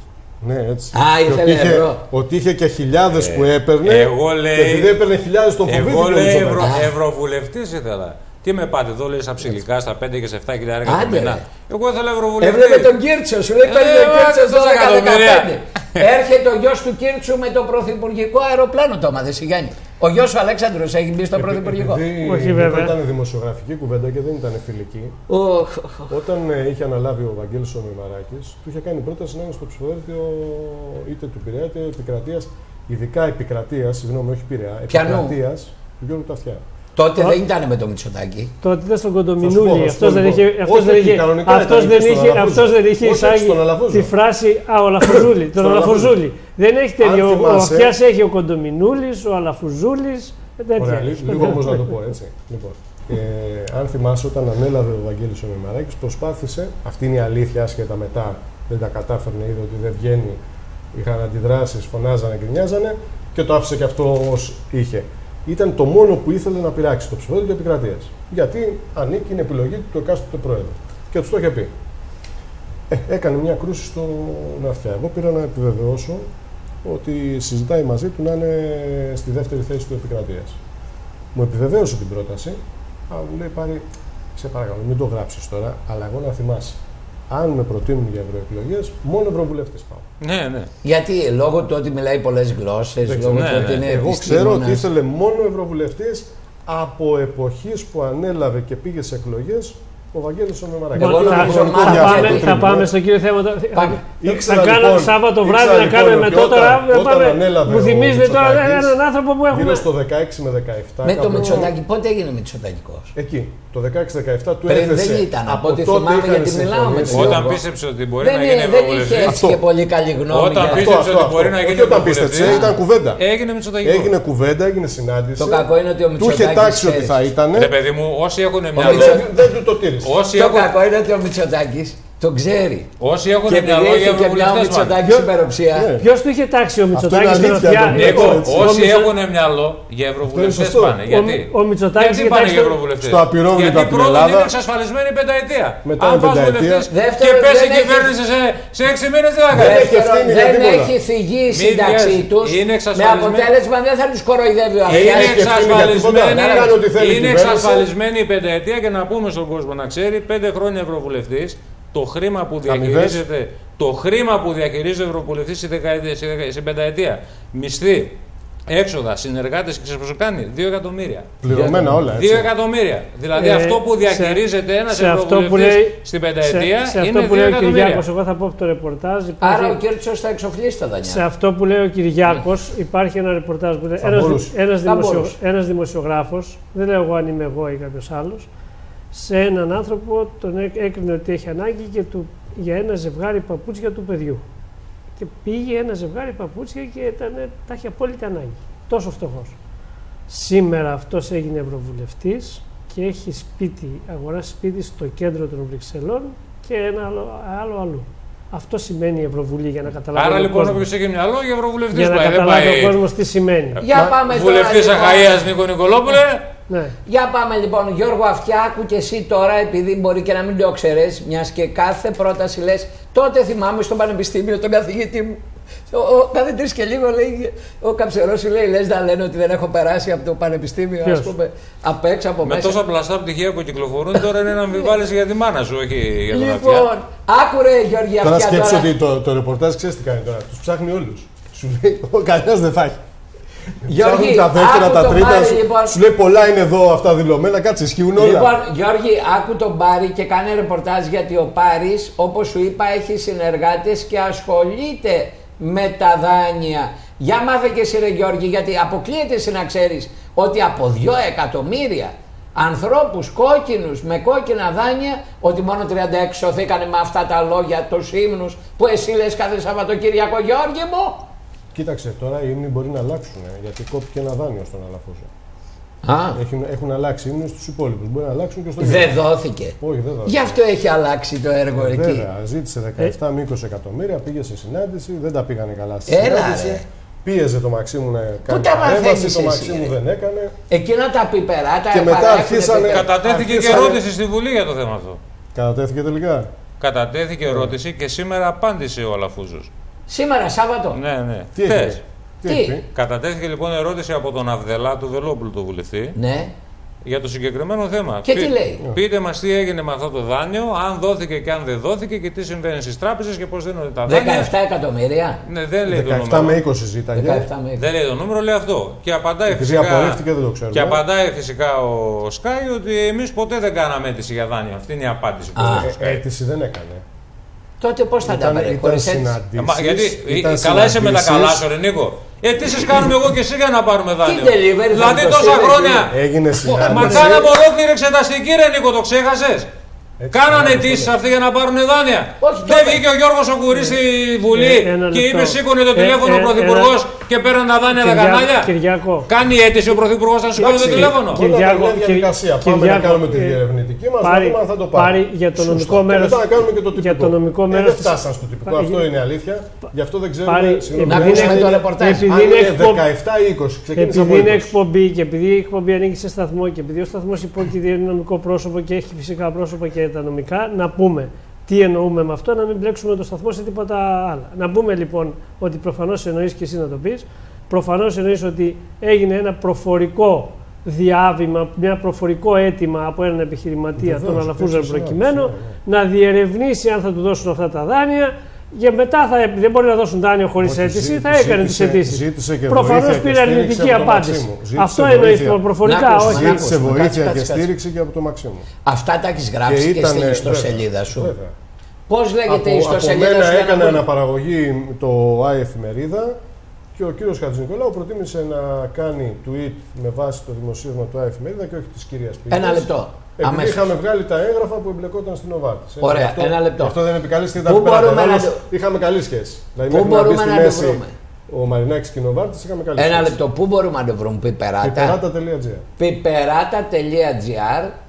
Εμείς, Χτυπάτε. εμείς εξάλλου ρωτάγαμε κιόλας να πάρουν θέση, να μας απαντήσουν, να πάρουν ένα τηλέφωνο, να μας πούν παιδιά δεν ισχύει. Μάλιστα. Πριν πάρει προέκταση. Ο Βελόπουλος από μένα το είδε και μέσω Μπράβο, Viber εντάξει, με ωραία. Όχι, ρώτησε. τώρα που όχι, το με λες, ρώτησε ο και του είπα. Αυδελάς που έκανε την ερώτηση, το δημοσίευμα χρησιμοποίησε. Δηλαδή κάνει την ερώτηση λέει, με βάση Ναι, γιατί με ρώτησε, δημοσίευμα με ρώτησε, με στο ρώτησε. πιπεράτο το διάβασα. Α. Ναι, ναι, το έχω διαβάσει. γι' Μπράβο, αυτό σου μπράβο λέω. πάρει. Και μετά το πήρε ο ράπτης στην, στο ΆΗ Εφημερίδα Ναι. και γράφει ακριβώς το ίδιο. Ε, Άρα το ρεπορτάζ κομμένο είναι. λίγο, όχι, κομμένο δεν έχει λίγο. σημασία. Άρα το ρεπορτάζ λοιπόν δεν Βεβαίως, έχει είχε κάνει διαψευστεί. Επιβεβαίωση. Παρά μόνον βγήκε λοιπόν ο σταθμός. Έκανε ανακοίνωση επίσημη ο Sky που λέει ότι εμείς ουδέποτε ζητήσαμε δάνειο, δεν έχουμε ανάγκη λέει δάνειο. Γιατί αν δείτε το, φυσιο- το φετινό μας ισολογισμό και τα κέρδη μας, άρα πάει καλά η δουλειά, η εταιρεία μας δεν χρειάζεται δάνεια. Μάλιστα. Αυτό Εντάξει, λέει ο δεν, Sky δεν στην χρειάζεται να απάντηση. πω όμως Κυριάκο ότι Δεν στέλεχος που αποχώρησε ε, μετά τις εκλογές από το σταθμό μου είχε πει πριν από τις εκλογές ότι ήταν ένα μέρος κουβέντας με τον Μητσοτάκη για να τον στηρίζει. Και μάλιστα μου έλεγε εγώ δεν πιστεύω ότι θα του τηρήσει όλα αυτά που του έχει τάξει, οπότε Λοιπόν, δεν θα μπορέσει και τέλος σε πάντων, άλλους. αυτά, Ε, αυτά, ε, τζάμπα δεν στηρίζει κανένα. Λοιπόν, εντάξει, αλλά αυτά επειδή Και δεν ε, μπορούν, τι- να, τυχαία άλλαξε εντωμεταξύ και η στάση κάποιων δεν δημοσιογράφων. μπορούν έτσι. να επιβεβαιωθούν εκείνο που είναι να. Τζάμπα προ- στηρίζαμε τόσα χρόνια μόνο εμείς, γι' αυτό και είμαστε εδώ που είμαστε. Ακριβώς. Ε, Εκείνο να που λέμε τα μόνο πράγματα όπως μπορείτε έχουν. εσείς μετά από αυτά που ακούμε, που ακούτε, μπορείτε από αύριο που θα βλέπετε Sky, αν βλέπετε και ρίχνει καμιά ψηλή, καμιά καρπαζά στον Μητσοτάκη, απλά να λέτε ρε τι έγινε, γιατί ρίχνει καρπαζά, γιατί λέει εκείνο, τι άλλαξε. Αυτό, ε, οι πληροφορίες Νίκο. αυτές έχουν αυτό το Νίκο. νόημα να είστε υποψιασμένοι πολίτες, υποψιασμένοι τηλεθεατές, έτσι για να το ξέρουν και αυτοί ότι τους βλέπουμε, ότι βλέπουμε, ότι ξέρουμε τι κάνουνε. Γι' αυτό το λέμε. Πάμε. Νίκο, η η καθημερινή εδώ και πάρα πάρα πολύ καιρό έχει ρεπορτάζ που είναι πολλές φορές πάρα πάρα πολύ εχμηρά για υπουργούς, όχι όλους, για κάποιους υπουργούς συγκεκριμένους στην κυβέρνηση Μητσοτάκη. Έχει χλεβαστικά ρεπορτάζ. Ε, Είναι η καθημερινή που έλεγε ότι πρέπει να έρθει ο Μητσοτάκης που έχει έτοιμη κυβέρνηση, έχει τούτο, έχει τα πάντα, τα έχει όλα. Επειδή τη διαβάζω κάθε μέρα, θα βρεις ρεπορτάζ που είναι πάρα πάρα πολύ ε, Υπάρχει πρόσωπος στην σκληρά- καθημερινή που σκληρά- εμπλέκεται με διαφημιστική εταιρεία. σκληρά κατά, της, κατά υπουργών Υπάρχει της σημερινής πρόσωπο, κυβέρνησης. υπάρχει πρόσωπο που εμπλέκεται με διαφημιστική εταιρεία. Δημοσιογράφος Υπάρχουν εννοείς. συγκρουόμενα συμφέροντα Ένα λεπτό, διαφημιστικών να ρωτάω κι εταιριών εγώ. μέσα στο κυβερνητικό στρατόπεδο. Ένα λεπτό, ένα λεπτό ρε πάρει. Ένα λεπτό, συγγνώμη, συγγνώμη, ένα λεπτό. Ε, ξεκινήσαμε λοιπόν από τα δάνεια τα δικά μας. Ε, η κουβέντα το έφερε στα μεγάλα δάνεια των ε, μεγάλων οργανισμών. Στις διαφημίσεις που ο ένας λέει στον άλλο εσύ από την Οβάρδης, εσύ από την Οβάρδης την ίδια ώρα που ο κύριος Αλαφούζος, οι δημοσιογράφοι του και όλοι έλεγαν δεν υπάρχει σκάνδαλο, Νοβάρδης. Την ίδια ώρα όμως έρχονται και λένε πόσα πήρες εσύ κύριε Χατζη Νικολάου από την Οβάρδης. Ο Χατζη Νικολάου λέει εγώ. Εδώ ο πρωτοσάλτε λέει. Ο πρωτοσάλτε λέει σε κάθε ραδιοφωνική εκπομπή να, να μας πει πόσα πήρε. Έρχεται τώρα εδώ ο Πάρης και λέει για καθίστε παιδιά. Υπάρχει διαφημιστικό τι γραφείο μέσα, τι, ή πρόσωπο που ασχολείται με διαφημιστή, τι εννοείς; Ξέρεις πολύ καλά ότι υπάρχουν δύο μεγάλες διαφημιστικές εταιρείες Ναι. μέσα στο χώρο της Νέας Δημοκρατίας με συγγενικά πρόσωπα. Όχι για την καθημερινή, λέγαμε για τον, τε- τον το, όμιλο. στο ένα λοιπόν μαγαζί Ναι. λέγεται ότι είναι έως και κύριος μέτοχος πλέον. Όπως είναι και μέτοχος ε, στον όμιλο αυτόν που αναφερόμασταν πριν. Ο Μιλτιάδης Είναι ο ένα Βαρβιτσιώτης- πολύ ο Μιλτια- ισχυρό ο- πρόσωπο μέσα Ο στον Μιλτιάδης όμιλο ο που Βαρβιτσιώτης αναφερόμασταν είναι πριν. υπουργός τώρα του Αν δεν μου γίνονται διαφεύγει. κάποια χατήρια μπορεί να, να πιέζουν. Πάρει Νίκο, ο Μιλτιάδης ο Βαρβιτσιώτης είναι υπουργός τώρα μου διαφεύγει. Ναι, αναπληρωτής στην υπουργός κυβέρνηση. εξωτερικών. Είναι- είναι Α, ένα πρόβλημα. διάβαζα κάτι που είχαν γράψει για το πώς. Τέλος πάντων με την ορθογραφία. Κάτι είχε απαντήσει κάπου, κάτι έκανε. Αλλά δεν είχα συγκρατήσει ότι είναι υπουργός. Είναι. Λοιπόν, Είναι- να είναι γυρίσουμε ένα πάλι στην πλατφόρμα. Και, και αν ε, θυμάστε, η κόντρα Αυτή και η η αντιπαράθεση διαφημιστική Χατζη εταιρεία. Νικολάου με τον Όμιλο Καθημερινή ξεκίνησε από αυτό. Από ποιο. Δεν κατάλαβα, αλήθεια από από ποιο. κομμάτια διαφημιστική πίτας. Πώς μοιράζεται η πίτα; Βέβαια, αυτό Πώς λέει η μοιράζεται η αγορά. πίτα; Αυτό λέει η αγορά. Ε, λένε ότι μια μεγάλη εταιρεία διαφημιστική έτσι, πολιτικής οικογένειας τους έκανε φορτωτική μια εφημερίδα ο Μητσοτάκης καθημερινή. Τους είπε θα βγάζετε αυτή την εφημερίδα Μμμ. και επειδή οι εφημερίδες δεν βγαίνουν. Κοντά στα λόγια μας. Ναι. Ε, έτσι λένε. Δεν ξέρω αν είναι αλήθεια. Και ο Χατζη Νικολάου τα καταγγείλει έτσι. Μάλιστα. Τα έχει- Δηλαδή τα έχει γράψει, τα έχει καταλάβατε, κάνει tweet. περάσανε 5-6 μήνες από τότε που ανέβηκε ο Μητσοτάκης και δεν θα τα μάθουμε από τον Τζίπρα. Όχι ρε. Και εκεί κοιμούνται όρθιοι. ποια μας Όχι ρε, είπε. ποιο Τζίπρα ρε. Θα τα μαθαίνουμε από τους ίδιους. Εκεί κοιμούνται Γιατί όρθιοι. η βουλημία, η πλεονεξία, λέει πόσα πήρες εσύ ρε από την Εθνική Τράπεζα; έτσι γίνεται, Βάρο. Τόσα πήρες και εγώ δεν πήρα τόσα. Έτσι γίνεται. Είναι έτσι με τα πυρούνια. Και τα πυρούνια λοιπόν όταν ε, ε, πάνε και δεν βρίσκουν το μεζέ, μπαμ, πάει και βγάζει το μάτι του άλλου. Άρχισε λοιπόν τώρα αυτό. Μπορεί λοιπόν ο Θωμάς να είναι άπιστος. Άπλιστος να μην είναι. Γιατί ο άπιστος Θωμάς βρήκε τον παράδεισο. Ο άπλιστος Θωμάς ο, ο, έχουν βγει τα πριόνια. Φεύγει και πάει στον Όλυμπο. Ε. Α, βγήκαν τα πριόνια και τώρα θα Φεύγει και έρθουν. πάει στον Όλυμπο. Νίκο, Εντάξει. Νίκο ε, επειδή είπατε όσα είπατε, να επανέλθω σε μια ιστορία με τους πληστηριασμούς και μήπως έχουν να προσθέσουν τίποτα οι ειδικοί εδώ, γιατί είναι ειδικός και ο Κυριάκος και ο Πάρης. Στην Σε υγεία των αυτά. κορόιδων, παιδιά, Θα σας- εγώ Στο, Θα- για πια- τα αυτά ο θα σας Κυριάκος πω- έχει δίκιο να- ότι να σας πω ότι- πράγματι αν κάποιος αδυνατεί να πληρώσει θα έχει σοβαρό πρόβλημα. Ε, ακούστε να σας Άρα πω να εκεί τη αν δεν σχολιάσετε. υπάρχει πολιτική βούληση. Ακούστε να σας πω, Πληστηριασμό. ακούστε να σας πω. και να το- έχεις επίσης δίκιο ότι θα πάει και παρακάτω να- όπως το είπες και εσύ. να πει- Βεβαίως. να- ακούστε να σας πω. Κανένας μην πιστεύει ότι, δεν θα, στα, ότι θα Ότι θα σταματήσει έρθει ο το Ηρακλής και θα κάνει. Όχι, ο Ηρακλής θα έρθει με το ρόπαλο. Αν πράγματι έχουν τρόπο Α. να τακτοποιήσουν και Είναι- ταλαιπωρούν είναι τους μια αναδίκω, ευκαιρία, ναι. είναι μια τεράστια ευκαιρία. Είναι μια ευκαιρία. Αν δεν έχουν, αν έχουν βρεθεί σε ατυχή στιγμή και σε ατυχή συγκυρία, γιατί έτσι Δηλαδή, τους αν έχει έφερε, ένα εισόδημα, η αν πάει ζωή δουλειά λίγο έχουνε καλύτερα, πρόβλημα. να, Ε, να, να, α- πράγμα που ευχόμαστε. Αλλά πού τώρα να Νίκο πάρεις; μου, βγήκανε τα στοιχεία της Τράπεζας της Ελλάδος που δημοσιεύτηκαν προχθές. Γιατί εμένα μου Εμένα η αρέσει. μόνη να- μου διαφωνία αυτή ήταν. Εμένα- παιδιά, ε, και έτσι. συγγνώμη για πριν για την ένταση, γιατί είμαστε και φίλοι και δεν υπάρχει Εντάξει, λόγος. αλλά υπάρχει και ένα Βγήκα- πάθος για το θέμα. Βγήκαν ρε τα παιδιά. στοιχεία της Τράπεζας Είναι Ελλάδος, κοινωνικό, είναι γιατί σοβαρό. εμένα μου αρέσει πάντα να μιλάω με τα στοιχεία των αντιπάλων. Όχι με τα στοιχεία τα δικά μας.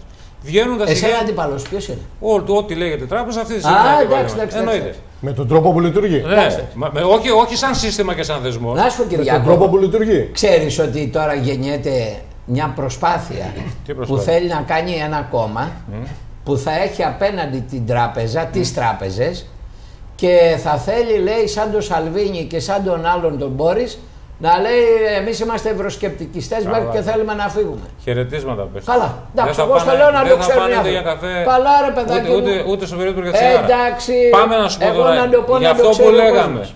Για, για, Μη είσαι εδώ εκεί βγαίνουν- σημεοφόρο. Ξέχνα το. Εντάξει. Εσείς το κρατάμε έτσι. Ξέχνα το, Ε, το βίντεο να κρατηθεί Ξέχνα παρακαλώ. το, ξέχνα. Εντάξει, Ο πάμε. μόνοι- και μόνο που λες ευρο, ευρωσκεπτικιστές έφυγα. Εντάξει, λοιπόν, πάμε. η Ελλάδα έχει ανάγκη από περισσότερη Ευρώπη. Δεν είναι το Ωραία. πρόβλημα της Ελλάδας η Ευρώπη. Η Ωραία, Ελλάδα ωραία. είναι η μόνη χώρα Είναι- της είναι καλό που Ευρωζώνης. διευκρινίζει κάποια Η Ελλάδα είναι η πράγματα, μόνη έτσι, χώρα για να της μην παρεξηγείτε Ευρωζώνης κιόλας. που είναι εκτός Ευρωπαϊκής Ένωσης θεσμικά. Έτσι, για να ξέρουμε τι λέμε. Ναι.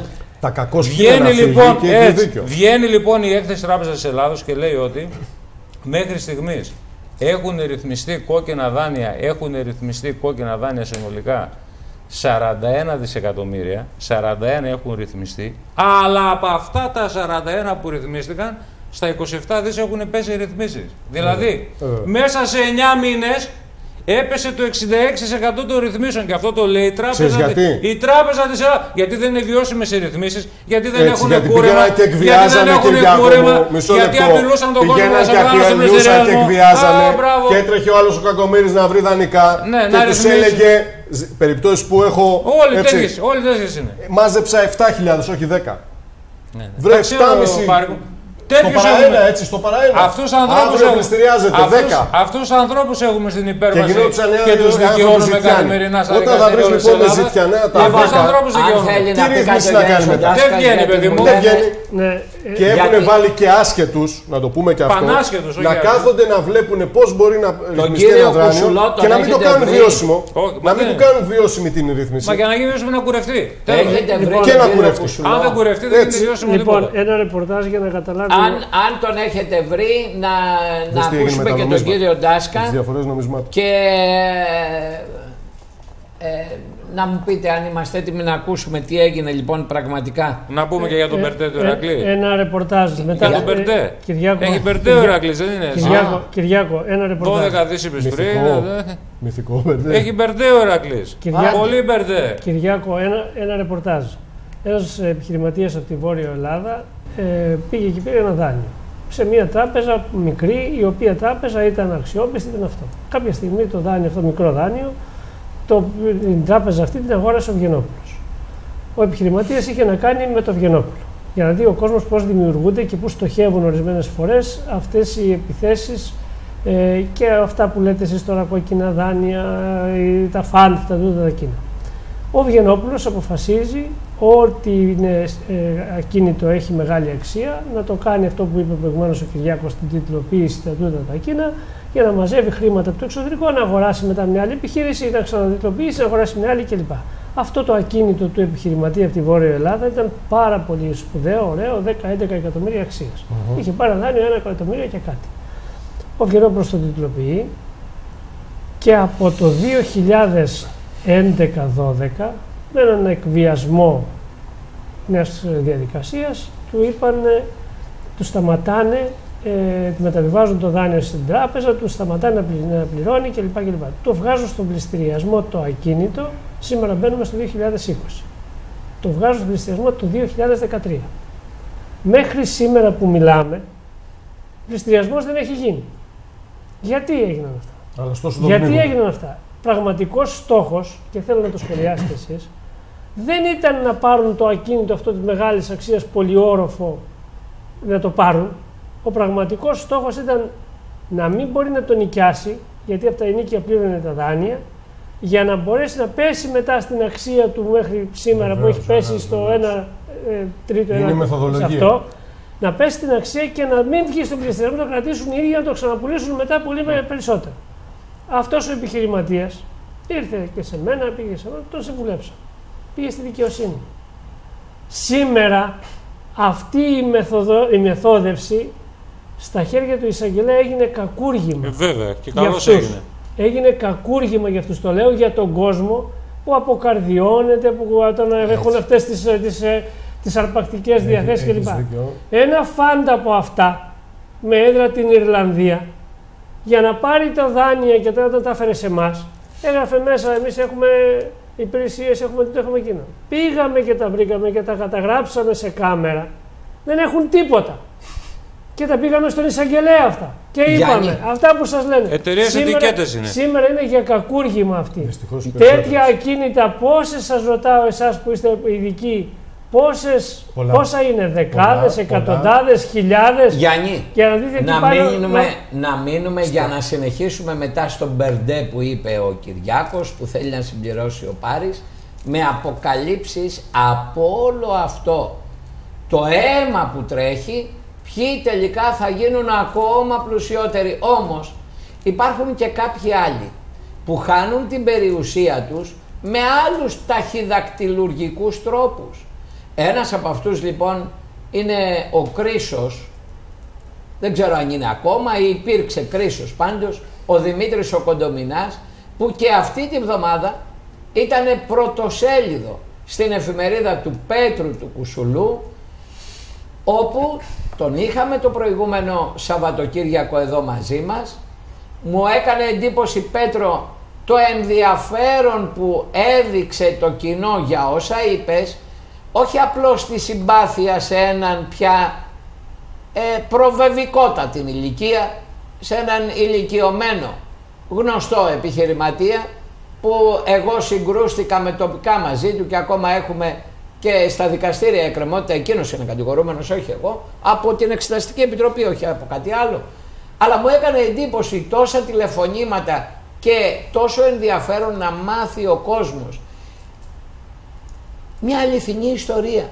Ότι μπορεί κάποιοι να πήγαγαν τον Κοντομινά, κάποιοι να τον έχουν έγκλειστο στο υγεία, κάποιοι να τον φαρμακώνουν, να του δίνουν φάρμακα και να τον έχουν σε καταστολή για, με σκοπό ποιον; Μην τα πάρει αν φύγει, μην τα πάρει η κυρία που ε, υπέγραψε σύμφωνο συμβίωσης καθηγήτρια του Πανεπιστημίου στην Αμερική, να, τα πάρει, να μην τα πάρει ο γαμπρός, να τα πάρει η νύφη, ο, ο- αυτό. Και επειδή λοιπόν βλέπω ότι έχει συνέχεια το ρεπορτάζ, λυπάμαι που σήμερα δεν είσαι εδώ μαζί μας, αν θέλεις, δώσ' μας τι καινούριο υπήρξε λοιπόν από το προηγούμενο Σαββατοκυριακό μέχρι σήμερα. Καταρχάς, καλησπέρα και σε εσένα Νίκο και στον Γιάννη τον Τάσκα και στον Κυριάκο. Νομίζω είναι και ο Κυριάκος ο Τόπρα. Καλησπέρα Πέτρο, καλησπέρα. Ε, καλησπέρα σε όλους. Ε, Όντως, την Κυριακή που πέρασε είχαμε ένα κομμάτι δημοσίευμα για- που αφορά την ιστορία ζωής, το θρίλερ ουσιαστικά το οποίο βρίσκεται σε εξέλιξη. Και έχει ως πρωταγωνιστή τον πολύ γνωστό επιχειρηματία και πρώην διάστημα τον Δημήτρη Κοντομινά. Ε, ένα ρεπορτάζ το οποίο Νίκο πρέπει να σε διαβεβαιώσω ότι είναι 100% αληθινό υπό την έννοια ότι όλα αυτά τα οποία έχουμε καταγράψει και παραθέτουμε ε, στην εφημερίδα, στην ΠΑΜ, στο ρεπορτάζ, ε, αποτελούν προϊόν όχι μόνο ε, εξομολογήσεων και ε, πληροφοριών που έχουν έρθει προφορικά σε εμάς, αλλά έχουμε και στοιχεία ντοκουμέντα για το τι ακριβώς έχει συμβεί. Όπως λέγαμε και στην προηγούμενη εκπομπή σου, η αντίστροφη μέτρηση για το Κωνσταλέξη, επιτρέψτε μου την έκφραση το οποίο ζει αυτή τη στιγμή ο Δημήτρης Κοντομινάς, όντας εκκλεισμένος στο 17ο όροφο του νοσοκομείου Υγεία, ξεκίνησε τον περασμένο Σεπτέμβριο όταν πήγε να κάνει μια εγχείρηση ρουτίνας για την αποκατάσταση ενός ουρολογικού προβλήματος στην Αμερική. Τότε λοιπόν το συνόδευσε η σύντροφός του, με την οποία έχει υπογράψει και σύμφωνο συμβίωσης η Λόρη και η προσωπική του ιατρός. Από το ρεπορτάζ προκύπτει ότι μία ημέρα μετά το χειρουργείο και αφού η επέμβαση πήγε μια χαρά και ήταν πολύ καλή και η ανάρρωση, στο περιβάλλον, ε, στην παρέα προσχωρήθηκε και μια πασίγνωστη Ελληνίδα επιχειρηματίας η οποία είναι ιδιαίτερα προβεβλημένη και από τα μίντια η οποία φέρεται να συντηρεί και να συνδέεται φιλικά με την κόρη του Μαρία. βάσει όσων έχουν εκτεθεί και στα δικόγραφα τα οποία έχουν κατατεθεί και έχουν συζητηθεί ε, διάφορες υποθέσεις από την ελληνική δικαιοσύνη ε, με την προσκόλληση της συγκεκριμένης γυναίκας αράχνης όπως την χαρακτηρίζουμε ξαφνικά άλλαξε και η συμπεριφορά του επιχειρηματία. Ε, Δεν άλλαξε ένα μόνο η λεπτό αν μου συμπεριφορά, επιτρέπεις πρέπει να- Πέτρο, πρέ- Πέτρο Ναι. εσύ ξέρεις γιατί είσαι πολλά χρόνια στην τηλεόραση ε, θα κάνουμε ενός λεπτού διάλειμμα, θα βλέπουμε το πρωτοσέλιδο της δικιάς σου εφημερίδος που κυκλοφορεί κάθε Κυριακή ε, που κάνει μπαμ όνομα και πράγμα κάθε Κυριακή ζητήστε τη επίμονα στα περίπτερα δεν θα δείτε ό,τι βλέπετε στα site, ό,τι βλέπετε στα ιστολόγια θα δείτε ζωντανό σπαρταριστό ρεπορτάζ όπου δεν έχουν οι πληροφορίες που έχει ο Πέτρος Κουσουλός μέχρι εκείνη την ώρα δημοσιευθεί σε άλλο μέσο ενημέρωσης. Σε ένα λεπτό είμαστε πάλι μαζί με τον Πέτρο, τον έχουμε μαζί μας, τηλεφωνικά τον έχουμε μαζί μας για να δώσει συνέχεια σε αυτό που ξεκίνησε να μας λέει το θρίλερ που ζει ο Δημήτρης Κοντομινάς και αν θέλει να μας πει και το αυριανό φύλλο της καινούργιας εφημερίδος τι θα έχει ως πρωτοσέλιδο. Σε λιγότερο από ένα λεπτό είμαστε μαζί.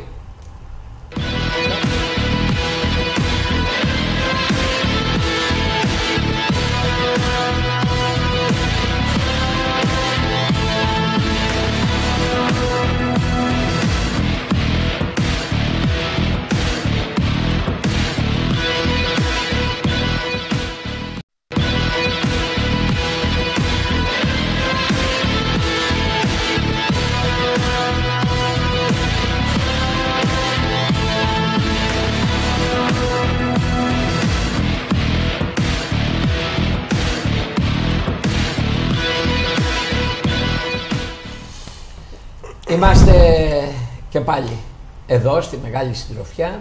Ευχαριστούμε πολύ. Κυρίως όλους εσάς από τη Θεσσαλονίκη, από τη Μακεδονία που και αυτή την ώρα επικοινωνείτε μαζί μας στον ε, αριθμό τηλεφώνου και στο email που βλέπετε και έχουμε μαζί μας τον Πέτρο τον Κουσουλό, η παρέα μας απόψε έχει τον Κυριάκο τον Ντόμπρα, τον ε, Πάρη τον Κουρτζίδη, τον Γιάννη τον ε, Ντάσκα και συνεχίζουμε από εκεί που μείναμε. Πέτρο, σε ακούμε. Λοιπόν, σας έλεγα λοιπόν ότι με το που ολοκληρώθηκε η επέμβαση το Σεπτέμβριο που μας πέρασε του Κοντομινά στην Αμερική, ε, προσπολήθηκε δίπλα του μια πολύ γνωστή Ελληνίδα επιχειρηματίας, ιδιαίτερα προβεβλημένη από τα μέσα μαζικής ενημέρωσης. Ε, έχει προβληθεί και σε εκπομπές, τη γνωρίζουμε όλοι, τη γνωρίζουν και οι παρευρισκόμενοι, τη γνωρίζεις και εσύ. Ε, Νίκο, και έκτοτε ξαφνικά παρατηρήθηκε μια τεράστια αλλαγή στην συμπεριφορά του Κοντομινά τεράστια αλλαγή η οποία ε, είναι περίεργη υπό την έννοια ότι εκείνη την ημέρα ε, για ανεξήγητους λόγους άλλαξαν και τα φάρμακα τα οποία χορηγούσαν για κάποια προβλήματα με κενά μνήμης τα οποία παρουσίαζε ο επιχειρηματίας. Του έδωσαν συγκεκριμένο αντικαταθλιπτικό το οποίο ε, όπως καταγγέλλεται τον ε, έκανε σχεδόν να είναι σε κατάσταση κομματώδη, να είναι φυτό.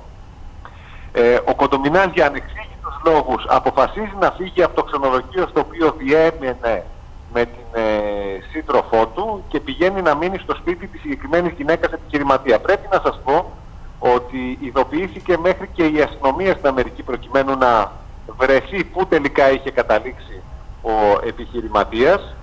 Η σύντροφός του καταγγέλει απίστευτα πράγματα, κάνει λόγο για απαγωγή, εσκεμμένη α- απαγωγή ε, και αρκεί να σας πω ότι την επόμενη μέρα με εντολή άνωθεν, κανείς δεν ξέρουμε ποιος έδωσε αυτή την εντολή, ε, ακυρώνεται το εισιτήριο της επιστροφής της συντρόφου του και της γιατρού του γιατί ήταν να πετάξουν όλοι μαζί και να επιστρέψουν Αθήνα. Ο Κοντομινάς επιστρέφει μόνος του τελικά συνοδευόμενος από τη συγκεκριμένη γυναίκα επιχειρηματία και από εκείνη τη στιγμή χάνονται τα ίχνη του. Τι εννοώ όταν λέω χάνονται τα ίχνη του. Για ένα πολύ μεγάλο χρονικό διάστημα διαμένει στο, σ- ε, στο σκάφος το οποίο έχει και στη συνέχεια κλείνεται στο σπίτι της στη Βαριμπόπη όπου κανείς δεν μπορεί να τον δει. Όταν η σύντροφός του έρχεται στην Ελλάδα και προσπαθεί να έρθει σε επικοινωνία μαζί του και κυρίως να πάρει τα προσωπικά της αντικείμενα τα οποία βρίσκονται ακόμα στο κτήμα της Βαριμπόπης, σύμφωνα με πληροφορίες και βάσει επίσημων εγγράφων δικαστικών, συναντά κλειστές πόρτες, ενημερώνεται ότι δεν μπορεί να μπει στο σπίτι στο οποίο διέμενε με τον ε, Κοντομινά, καμία επικοινωνία με το τηλέφωνο, από το τηλέφωνο δεν της επιτρέπεται και στις 2 Οκτωβρίου στο ξενοδοχείο στο οποίο διαμένει εμφανίζεται ένας δικηγόρος, νομικός σύμβουλος της εταιρείας ΔΕΜΚΟ, ο ο οποίο παραδίδει ένα εξώδικο και λέει ότι ο κύριος Κοντομινάς ε, επιθυμεί τη λύση του συμφώνου συμβίωσης. Όταν εκείνη ρωτάει και λέει ότι αυτό αποτελεί όντως η επιθυμία του Κοντομινά, ε, ο δικηγόρος όπως καταλαβαίνετε απαντά ότι αυτή την εντολή έχουμε, αυτό σας ε, μεταφέρουμε και θα πρέπει να συνενέσετε κι εσείς ε, με την εξέλιξη αυτής της ιστορίας. Το περίεργο είναι ότι βάσει του ρεπορτάζ και των πληροφοριών που έχουμε συμπέξει στα αυτιά του επιχειρηματία, στα αυτιά του Δημήτρη Κοντομινά και ο βασικός λόγος για τον οποίο αποφάσισε έτσι ξαφνικά να χωρίσει τη σύντροφό του ήταν ότι του μεταφέρθηκαν κάποιες πληροφορίες ότι κατά τη διάρκεια ε, της ε, συμβίωσης η Λόρη είχε θεαθεί ας πούμε σε διάφορα ε, εξωτικά μέρη, να κάνει διακοπές με παρέα, διάφορους επιχειρηματίες και διάφορα τέτοια σενάρια. Όταν επικοινωνήσαμε εμείς με το περιβάλλον της... Η σύντροφός του τι ηλικία... χαρακτηριστικά...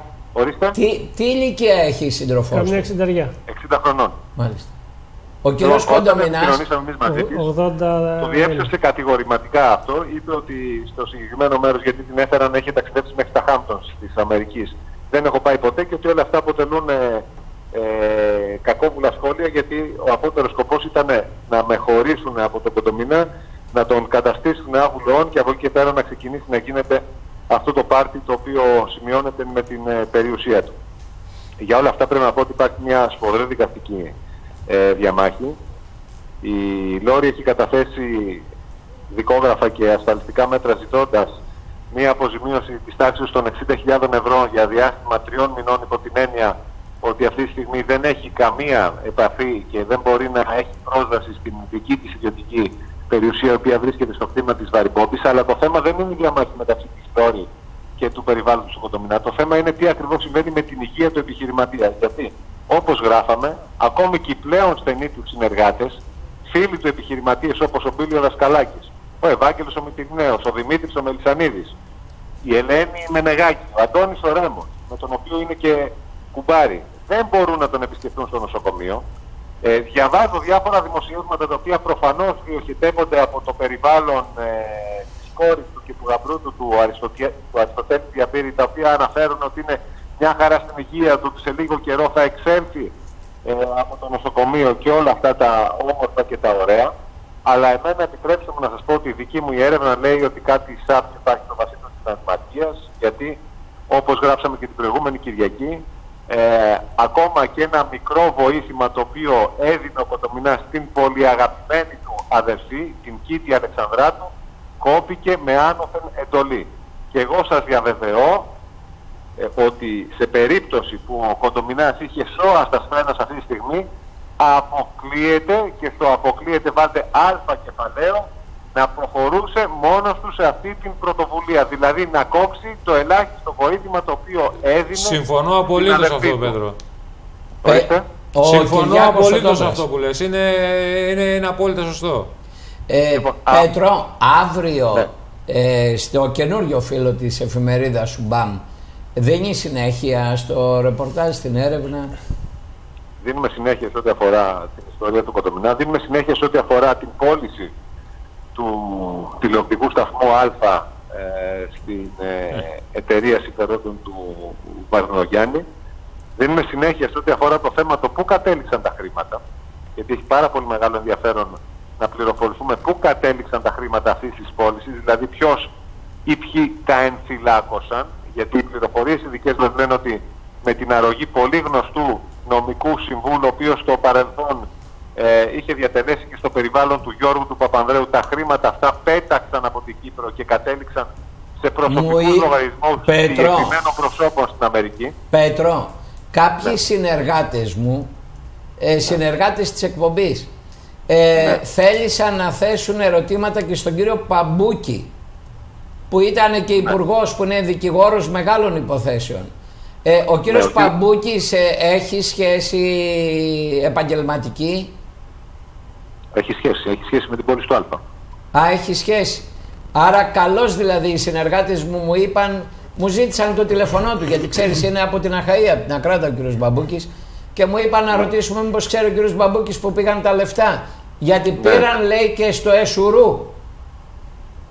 Ναι, είναι, είναι αληθές αυτό το οποίο λένε και είναι καλή πληροφόρηση των συνεργατών Ο κύριος Παπούκης λοιπόν έχει, ε, έχει άμεση σχέση και έχει άμεση γνώση στο τι ακριβώς έχει συμβεί. Μπορεί να ξέρει δηλαδή ο κύριος Παμπούκης. Ο κύριος Παπούκης ξέρει γιατί ήταν ο άνθρωπος που σου λέω και επαναλαμβάνω ο οποίος ήταν επικεφαλής σε όλη αυτή την πόλη.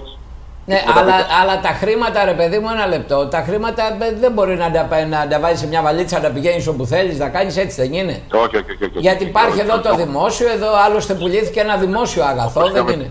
Όπως είχαμε πει και την προηγούμενη εβδομάδα, ο Κοντομινάς είχε μεταβιβάσει τον Α επειδή είχε μπροστά του την εξέλιξη και τη δίκη του ταχυδρομικού ταμιευτηρίου στην κόρη του Μαρία. Αλλά στα, στη μεταβίβαση είχε πει ότι το τελευταίο λόγο για τη διαχείριση των χρημάτων, αν ποτέ πωληθεί ο Α, θα, τον, θα την είχε εκείνος. Τα χρήματα λοιπόν όφυλαν να πάνε σε μια εταιρεία συμφερόντων της Μαρίας Κοντομινάς στην Κύπρο. Όντως πήγαν εκεί, αλλά στη συνέχεια οι δικές μας πληροφορίες λένε ότι πέταξαν από την Κύπρο και κατέληξαν στην Αμερική σε προσωπικούς τραπεζικούς λογαριασμούς συγκεκριμένων προσώπων. Μάλιστα, μάλιστα. Θέλετε να Ε, Καλά, Πέτρο, ότι- Πέτρο, Πέτρο, να σε ρωτήσω κάτι. Κα- Θα κάνεις αναδρομή στο ρεπορτάζ σου στην παλαιότερη, στη διαδρομή Κοντομινά, στην επιχειρηματική του ζωή, ενώ ε, ήταν κάποτε ιδιοκτήτης τράπεζας, που είναι και αυτό δημόσιο αγαθό. Ε, θυμόμαστε ότι σύμφωνα με τα ρεπορτάζ τότε ήταν ο Έλληνας που απέκτησε το πιο πολύ, την πιο μεγάλη ποσότητα ρευστού πουλώντας την τράπεζα αυτή με ένα θυμάμαι ηλικιώδες ποσό. Την Interamerican ήταν ασφαλιστική. Α, όχι, τράπεζα. Α, πριν. τράπεζα, την τράπεζα. Interbank. Μετά είχε την, ε, μια πάλι, Interbank, ένα ναι. πάλι, μια, Έτσι, η Eurobank έτσι πάλι προέκυψε. μια εταιρεία μεγάλη, την Interamerican, την οποία πούλησε επίσης και γενικά είχαμε την εικόνα για πολλά χρόνια ότι ήταν ο άνθρωπος που είχε το πιο πολύ ρευστό από όλους τους ε, πλουσίους ανθρώπους, τους ισχυρούς. Για αυτά την- τα χρήματα, για τις πωλήσεις αυτές και όλα αυτά ξέρουμε που έχουν καταλήξει ε, αν ε, με τον Α είχε συμπράξει με τους Γερμανούς, με το RTL, τι έχει γίνει, θα κάνεις τέτοια διαδρομή εσύ; Από το περιβάλλον του Κοντομινά λέγεται ότι μπορεί να έχει πολύ μεγάλα εισοδήματα και όντως να έχει και ρευστό να το πω έτσι, αλλά είχε και πάρα πολλά χρέη. Αυτό είναι κάτι, μια πληροφορία η οποία διαρρέεται από το περιβάλλον της κόρη του και του γαμπρού του. Δεν ξέρω αν ευσταθεί και κατά πόσο ευσταθεί διαρρέεται για ευνόητου λόγους. Αυτό το οποίο εγώ γνωρίζω και μπορώ να το πω με τα βεβαιότητας είναι ότι υπάρχει πολύ μεγάλη αμφισβήτηση στου εργαζόμενους του ομίλου της ΔΕΜΚΟ. Υπάρχουν πληροφορίες ότι το αμέσω προσεχή διάστημα και μάλιστα έχουν ήδη δρομολογηθεί εξελίξεις για να πονηθεί και η ασφαλιστική εταιρεία η Prime. Ε, μάλιστα, ο επικεφαλής της Prime διατείνεται ότι έχει έγγραφο και εξουσιοδότηση του ίδιου του κοντομινά προκειμένου να, να προχωρήσει στην ε, πώληση και είναι πράγματα και καταστάσει οι οποίες δεν είναι, οι οποίες, οι οποίες δεν είναι ευτυχείς για κανέναν. Και αυτό το οποίο μου κάνει ακόμα μεγαλύτερη εντύπωση και αφορά και τους συναδέλφους, ε, επειδή έχω ζήσει στο περιβάλλον του Άλτα, επειδή έχω ζήσει στο περιβάλλον του Κοντομινά, γνωρίζω ότι πολλοί από αυτούς έχουν ευεργετηθεί και έχουν φάει με χρυσά κουτάλια. Δεν έχει βρεθεί ένας, ένας ε, να ασχοληθεί με αυτή την ε, υπόθεση και να ερευνήσει σε βάθος ακόμη και αν ε, αναγκαστεί να συγκρουστεί με συγκεκριμένα συμφέροντα τα οποία αυτή τη στιγμή κάνουν κουμάτο. Κανείς από τους ευεργετηθέντες του Κοντομινά, κανείς από τους δημοσιογράφους οι οποίοι έχουν αμυφθεί πλούσιο πάροχο και έχουν κάνει περιουσίες, δεν έχει ενδιαφερθεί να μάθει το τι ακριβώς συμβαίνει. Άπαντες και άπατες μας έχουν πάρει τηλέφωνο και μας έχουν δώσει συγχαρητήρια για το ρεπορτάζ και τα ρεπορτάζ και τις αποκαλύψεις, αλλά στα δικά τους τα μέσα δεν προβάλλεται τίποτα. Και Ε. απορώ γιατί. Είναι ένα μεγάλο ερωτηματικό το οποίο θέτω. Πέτρο, ε, επειδή θέλω ε, μία τελευταία ερώτηση να σου κάνω ε, για το δεύτερο θέμα που είχες αποκαλύψει εδώ στην εκπομπή, να κλείσουμε αυτή την ε, περιπέτεια, αυτή την υπόθεση με τον ε, Δημήτρη τον Κοντομινά ε, με το εξής εύλογο ερώτημα. Οι δανειστές, δηλαδή οι τράπεζες, Καλά τώρα. Καταλαβαίνουμε όλοι, εγώ το καταλαβαίνω, δεν ξέρω, μπορεί λάθος να με συγχωρείτε που έτσι το καταλαβαίνω ότι η, η, η κυρία που έχει το σύμφωνο συμβίωσης, η κόρη, ο γαμπρός, όσοι ακόμα έχουν συμφέροντα, καταλαβαίνω ότι και στους εισαγγελείς θα πάνε και θα βοηθήσουν πολύ το ρεπορτάζ, σωστά; Ε, αυτονόητο δεν είναι αυτό. Αυτονόητο είναι, μάλιστα. Ε, οι τράπεζες Μπορεί να αφήνουν να πετάνε τα λεφτά έτσι, να φεύγουν από την Ελλάδα, να Γιατί; κάνουν να ράνουν. Γιατί να μην το κάνω. Ναι, ένα λεπτό, ένα λεπτό, ένα λεπτό, ένα λεπτό, Κυριακό. Άμα χρωστάνε, Μα ποιος χρωστάει; εδώ, τα, εδώ άμα Ποιο πεθάνω αφημί εγώ, χρωστάει; Ναι, ρε φίλε. Πρέπει να βρεις ποιο αφημί χρωστάει και ποιο αφημί μεταδίδει συμμετοχέ. Άμα δεν σχετίζονται αυτό το δύο αφημί, φεύγουν τα λεφτά. Α, Ε, ε, Μα α, εσύ, εσύ Κυρι- για χαζό τον είχε Κυρι- στο κοντομινά. Κυρια- Μα Κυριάκο, ποιο κοντομινά, ο κοντομινά, ένα λεπτό. Να άκουσε. χρωστάει το ίδιο αφημί που είναι να Κυριάκο, εισπράξει. Κυριακό, αυτά, ε, καλά σωστά το επισημαίνεις, αυτά τα ανέκδοτα γίνονται μόνο στην Ελλάδα. Ε, αυτό λέω. Όταν στην Αμερική ο Μάντοφ που είχε κάνει το δίκτυ Nasdaq στη Νέα Υόρκη και τον κουμαντάριζε αυτός, Ό,τι υπήρχε, πήγε χάγια. και πήγε, ε, τον πιάσανε να κάνει κομπίνες κλπ. κλπ. Μπήκαν μέσα ταυτόχρονα στα σπίτια των παιδιών του, των ανιψιών του, των Εδώ δεν γίνεται. πάντων. Όχι, Μπήκαν ένα λεπτό, μέσα να τα διαφο- ακούσουνε, διαφορετικές να τα ακούσουν υπηρεσίες. στο μαξί, Μισό λεπτό. να τα ακούσουν οι τραπεζίτες, γι' αυτό το Έτσι. λέω. Και- Να το ακούσουν ρε παιδί και μου. τα βρήκανε Ας και, το και ακούσουνε. πήγε ο Μάντοφ. Θυμόμαστε ότι το παιδί του, το οποίο δεν μετήχε στην πραγματικότητα, αλλά μέσω μιας εταιρείας, εκείνος τα κουμαντάριζε όλα, έβαλε όμως και μια εταιρεία στο όνομα του παιδιού του. Μπορεί να μην μάθει κανείς τι απέγινε το παιδί, πότε κρεμάστηκε και πού. Και, τι, και πού κατέληξε τα παιδιά για να πάνε φυλακή. Και εδώ βρέθηκε ένα Οι- παιδί οι με 13 συγγενείς- οι εκατομμύρια στην συγγενείς- Αμερική οι και δεν άνοιξε συγγενείς το δούνι. Εδώ, εδώ στην Ελλάδα. Βρέθηκε παιδί με 13 εκατομμύρια. Καλά, το ξέρεις. Πέτρο, Ναι. ξέρεις τι λέει ο Κυριάκος; Πέταξε μια πέτρα τώρα σκανδάλου. Λέει βρέθηκε ένα παιδί με 13. Ελληνόπουλο παιδί. μου. Ναι, Τι φτωχής οικογένειας, άπορης. ε, από αυτές. Υπουργικής. Υπουργικής οικογένειας. Με 13 εκατομμύρια, λέει, βρέθηκε στην Αμερική. Πέτρο, έχεις ακούσει τίποτα; Αναφέρεται στην Νικοδός Νοβάρτης προφανώς. Ε, θέλω, Ε, να πω, εκεί αναφέρεσαι. θέλω να πω, όχι, θέλω να πω το εξής εγώ, να καταλήξω με αυτό. Καλά, το πούμε μετά, Ο- μην κρατάμε ο τον Κοντομινάς, ο Κοντομινάς Κάτι ξέρει και ο βρισκόταν- Πέτρος, πάντως και εσύ. Όλη η Ελλάδα το ξέρει, το Μισό γράφουν λεπτό. εφημερίδες. Ο Κοντομινάς βρισκόταν στη μέση μιας πολύ σοβαρής δικαστικής ιστορίας, η οποία εξελίσσεται στα δικαστήρια και γίνεται δίκη. Ναι, Η κάθε, κάθε πτυχή μπράβο. της ζωής του Κοντομινά, είτε πίσω από δικαστη... ε, νοσο- νοσοκομεία, είτε πίσω από πόρτες νοσοκομείων, είτε πίσω από πόρτες γραφείων, είτε, είτε, Συμβολογραφείων. ενδιαφέρει αμέσως και πρωτευόντως το ελληνικό κράτος, το οποίο Σαφώς. ζητάει από τον κύριο Κοντομινά να δικαστεί, να δώσει λόγο, να εξηγήσει αυτά για τα οποία το κατηγορεί και είναι, Πολιτική πάρα, αγωγή πο- υπάρχει και είναι εκεί. πάρα, πάρα πολύ σοβαρά. Δεν μπορεί να λέμε λοιπόν, Α, γιατί ασχολείστε με κάποιον επιχειρηματία, επιχειρηματίας που είχε τράπεζες, σταθμούς και σε δημόσιες δίκες αυτή την περίοδο δίνει εξηγήσεις ή δίνει λόγο για πάρα πάρα πολύ σοβαρά κακουργήματα και εκείνος και αρκετοί ακόμα. Στα κακουργήματα Επομένως, σε προλαβαίνω, θα απαλλαγήσει όλα. Ας απαλλαγεί, όχι, αλλά μακάρι, τώρα δεν είναι- είπα εγώ ότι είναι ένοχος. Για- γιατί λόγω του αυτεπάγγελτου Ναι, εντάξει. πάνε όλες αυτές οι Δεν- υπογραφέ δεν- περίπατο. Δεν λέω εγώ ότι είναι ένοχος. Λέω όμως ότι Γιατί αυτά- βρίσκεται κατηγορούμενος, γιατί πήρε αυτά τα εκατομμύρια από το ταχυδρομικό ταμιευτήριο. Αν αυτά τα εκατομμύρια λοιπόν πήγαν εκεί και τώρα πήγαν στην Κύπρο και φύγαν από την Κύπρο και πήγαν εκεί, το Μαξίμου οφείλει, είναι δημόσιος πλούτος, είναι του ταχυδρομικού ταμιευτηρίου. Γιατί όταν ανοίγουν σιγά σιγά τα στόματα, κανένα. Ο Χριστοφοράκος τώρα. Ε, Όχι μόνο Ναι, ο αλλά Χριστοφορά- ανοίγουν όχι τα μόνο ο στόματα. Χριστοφοράκος. Καραβέλας. Όχι, Και βάλω όχι. μέσα τη γυναίκα του. Όχι, Λοιπόν, μόνο- να ρωτήσουμε όχι, κάτι τον Πέτρο, μην μισό- τον κρατάμε, μισό λεπτό, αν θέλετε. Μισό λεπτό, μόνο παιδί. Κάποτε ζούσαμε με το πώς αναπνέει ο Σκαρπέλης. Τότε ήταν ο Σκαρπέλης, γενικός δερβέναγα στον ΟΤΕ, έβγαινε, έλεγε τα διάφορα και, και, και αυτός κανόνιζε πότε κάνουν απεργίες, πότε δεν κάνουν συνδικαλιστή. Μέγας. Ο Σκαρπέλης τότε. Προχθές, ελάχιστοι έγραψαν ότι ο Σκαρπέλης έφαγε 15 χρόνια κάθριξη για τις μίζες της Siemens. Γιατί το λέω αυτό, πότε τα έφαγε, έρχεται και η ώρα. πότε τα έφαγε; Λίγες μέρες πρώτο Χριστουγέννου του 2019. Πότε πρώτο κάναμε πρωτοσέλιδα για εταιρείες στην Κύπρο με υπουργούς, ο ένας υπουργός τώρα είναι φυλακή, για υπουργούς, για στελέχη του ΟΤΕ, πριν από 18 χρόνια. Χρειάστηκε Ακούς. 18 χρόνια Λοιπόν, για να φάει ο Σκαρπέλης 15 Δημήτρη χρόνια κάθεξη. Αβραμόπουλε, Δημήτρη Αβραμόπουλε, θυμάσαι τι είχες πει έξω από το Μαξίμου όταν παρετήθηκα από υπουργός. Άνευ σημασίας. Και εσύ άσε να λέει Μωροντάσκα μετά από 18 χρόνια άνευ σημασίας.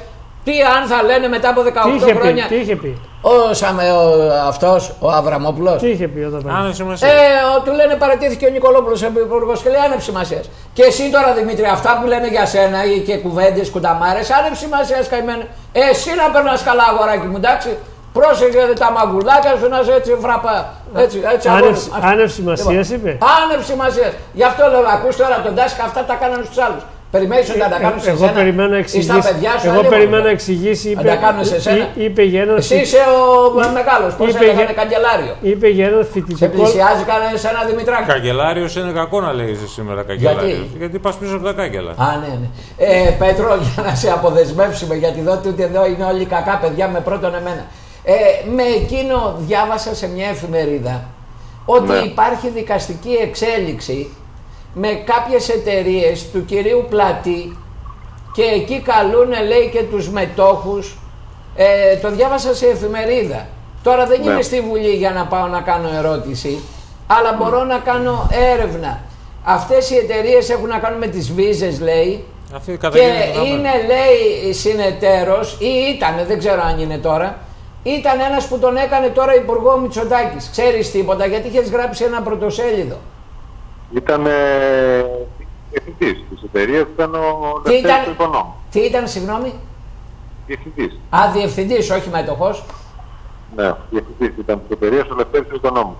Είναι ο υπουργός ο κύριος Οικονόμου. Βέβαια. Και τον έχουν, δηλαδή θα τον καλέσουν, τον έχουν καλέσει τώρα για όλες αυτές τις υποθέσεις που διερευνάει η δικαιοσύνη. Ξέρεις; Αυτός ο, φα... ο- α- αυτός ο φάκελος στην Ελλάδα βρίσκεται στα χέρια των εισαγγελέων διαφθοράς. Δεν ξέρω κατά πόσο έχει προχωρήσει η έρευνα Ακούς, για το τι τα ακριβώς ξέρεις έχει αυτά. συμβεί με αυτό, αλλά βρίσκεται και μια δικαστική διαμάχη εξέλιξη και στην Κύπρο που οι μέτοχοι πλακώνονται μεταξύ τους. Εκεί λένε λέει ότι από 4 εκατομμύρια τα 3.980 πήγανε λέει τι σε, τε- τε- τε- αυτό τι τε- το ξέρεις το θέμα καθόλου γιατί είχες βγάλει ένα πρωτοσέλιδο γι' αυτό σε ρωτάω.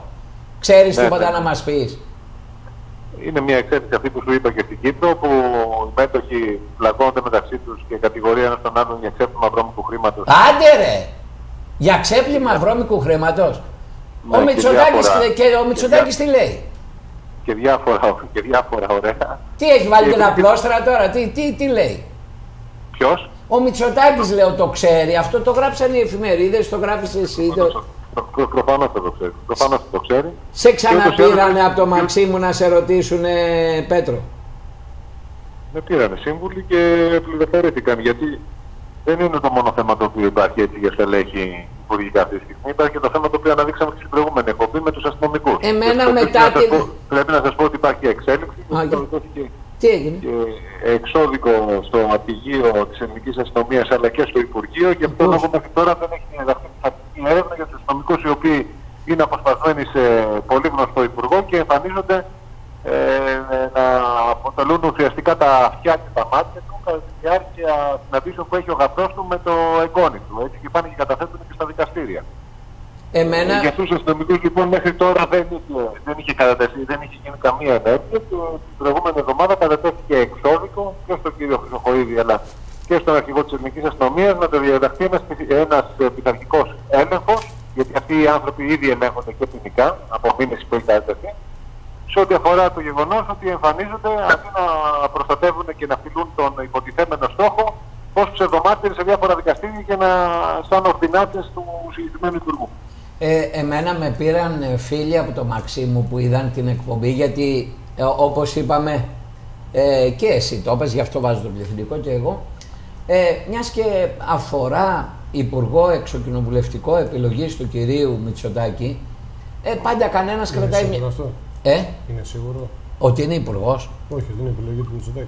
Α, δεν το ξέρω. Ε, Αλλά γιατί- αυτός τον όρκησε. γιατί- Αυτός, ε, αυτός διορίζει υπουργούς.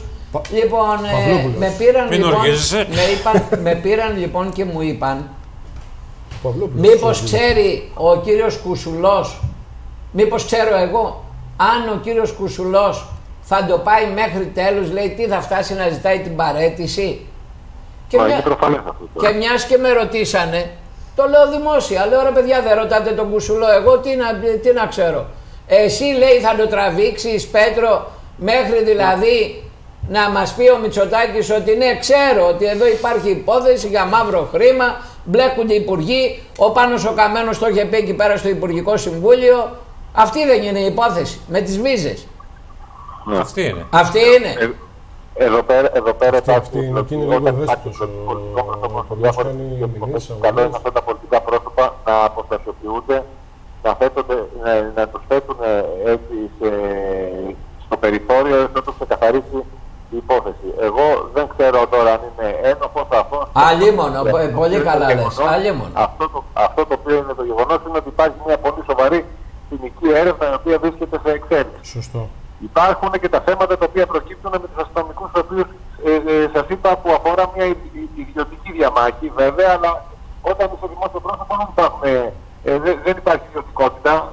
Δεν υπάρχει ιδιωτικότητα και είναι και πολύ σοβαρά αυτά τα οποία έχουν καταγγελθεί και με επίσημα δικόγραφα και πολύ ενδιαφέροντα και αυτά τα οποία έχουν υποθεί σε ό,τι αφορά για λογαριασμούς στο εξωτερικό, για εταιρείες στην Αγγλία και όλα όλα αυτά τα πράγματα. Καλό είναι λοιπόν η κυβέρνηση για να μην βρεθεί προβισάρε των εκπλήξεων να φροντίσει να μεριμνήσει γιατί όπου υπάρχει συνήθως καπνός μπορεί να υπάρχει και φωτιά. Εσύ, Δεν το δε- ξέρω εγώ, εσύ πάντως αλλά- δεν θα το κουκουλώσεις δηλαδή. Δεν έχει στη βία αυτό Νίκο Γιάννη και Κυριάκο, ο Υπουργός θα είχε απομακρυνθεί αυτομάτως των καθηκόντων του. Έως ότου διαλευκανθεί η υπόθεση. Εσύ, Αυτό είναι αυτονόητο. Μόνο στην Ελλάδα δεν συμβαίνουν αυτά. εσύ λοιπόν δεν πρόκειται να το κουκουλώσεις δηλαδή, δεν... Πουλώσω για ποιο λόγο να το πουλώσω εγώ. Ε, με ρώτησαν ρε παιδί μου, ξέρω εγώ, Θα λέει... τους αλλάξει όλους μαζί εκεί. Ε, Θα τους αλλάξει όλους μαζί εκεί. όλο το Υπουργείο; Ε, ναι. και το Χρυσοχοίδη που είναι πετυχημένος; Πετυχημένος. Μα δεν είναι, έτσι δεν λέει. Λοιπόν, Πέτρος, σε ευχαριστούμε πάρα Χρυσοχοίδης. πολύ. Αύριο, αύριο, αύριο. Αύριο έχουμε ένα πολύ ενδιαφέρον δημοσίευμα και για τον Ευρωβουλευτή του κ. τον κύριο Κούλο. να ξέρει. Άμπα, τι, με τι θέμα, δεν μη μας πεις να την αγοράσουμε, αλλά τι; Αυτό με τον κούλο Πέτρο καλά το λες και καλά κάνεις και το ταχώνεις. Εντάξει, γιατί προφανώς ε, ο άνθρωπος εκεί που βρίσκεται στις Βρυξέλλες περνάει τόσο καλά που έχει ξεχάσει τι σημαίνει δημοσιογραφία, ρεπορτάζ και τα λοιπά. Ο, ο, ο κύριος Κούλογλου, δεν, επειδή επιτέθηκε και σήμερα προσωπικά επιτέθηκε και στην εφημερίδα με αφορμή την επιδότηση η οποία θα δινόταν στον τύπο για την ενίσχυση του τύπου, έτσι, και δεν επιτέθηκε τυχαία, καλά θα μάθει, ε, κα, καλό θα είναι να μάθει το πώς γίνεται το πραγματικό ρεπορτάζ, Έτσι. ε, να μην είναι αραγμένος στις ε, Βρυξέλλες και να μας θυμίσει όταν ήταν εκείνος δημοσιογράφος τις αμοιβές του από, τις, ε, από την ΕΤ, πόσα λεφτά έπαιρνε για κάθε εκπομπή, τον τρόπο που πήρε αυτές τις εκπομπές, να μας θυμίσει τις επιλογές που είχε με την ΕΣΥΑ η οποία τον είχε διαγράψει γιατί είχε φτάσει στο σημείο να διαφημίσει δημοσιογράφος όν ακόμα και αυτοκίνητα, πολυτελή αυτοκίνητα και να μας πει τι ακριβώς συμβαίνει με τους ανθρώπους οι οποίοι βρίσκονται στο γραφείο τους στις Βρυξέλλες, αποστασμένοι και πληρώνονται από τα χρήματα των Ευρωπαίων φορολογουμένων, τους οποίους θα αποκαλύψουμε ότι τους χρησιμοποιεί για να συντηρεί τα- τις διάφορες εκδοτικές και επιχειρηματικές δραστηριότητες τους. Δηλαδή ο κ. Κούλογλου ε, πλη- πληρώνουμε εμείς τα κορόιδα και οι Ευρωπαίοι φορολογούμενοι τους συνεργάτες του κ. Κούλογλου και οι- και οι συνεργάτες του κ. Κούλογλου εμφανίζονται ως εργαζόμενοι σε διάφορες εκδοτικές και επιχειρηματικές Τα δύο δραστηριότητες. εκατομμύρια την πενταετία που σου έλεγα πριν. Αυτά είναι που λέει ο μάλιστα. Πέτρος τώρα. Αύριο λοιπόν στα περίπτερα, μπαμ.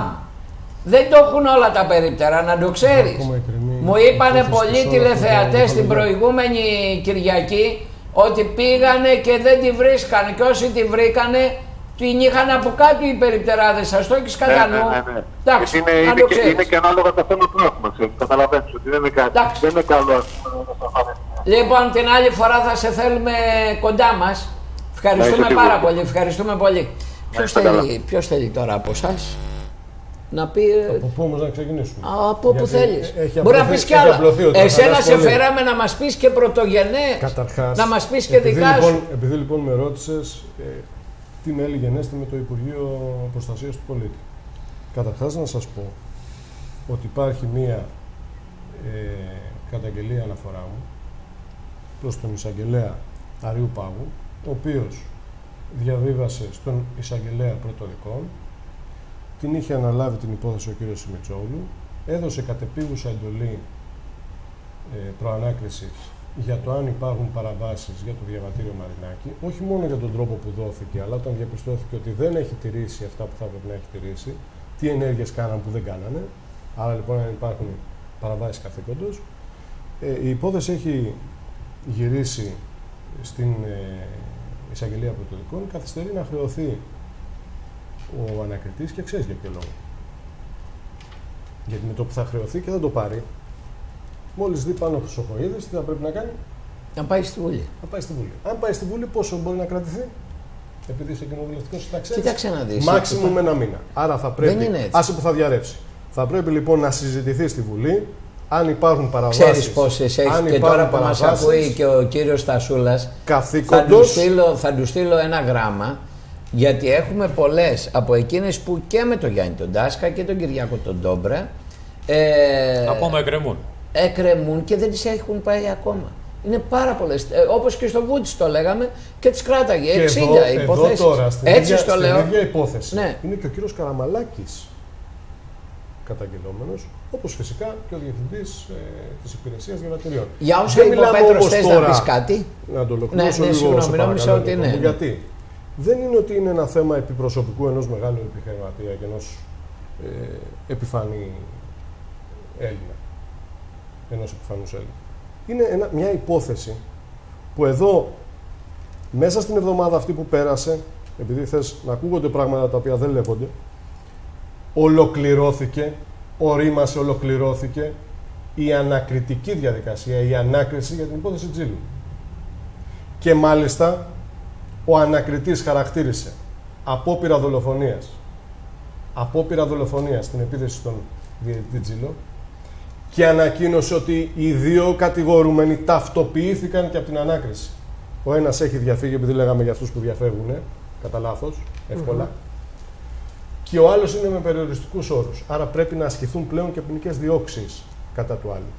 Αυτός ο άλλος είχε το θράσος. Επειδή εγώ διέρευσα ακριβώς τις πληροφορίες που είχα από την ελληνική αστυνομία και από, την, από τις δικαστικές αρχές, να μου κάνει μήνυση. Πότε την κάνει τη μήνυση, 7 Ιουλίου εκλογές, 4 Ιουλίου κάνει τη μήνυση. Όταν το σύστημα γνωρίζει ότι έχετε μια κυβέρνηση και θεωρεί ότι θα έχει μια ασυλία. Δεν κάνει μόνο σε μένα.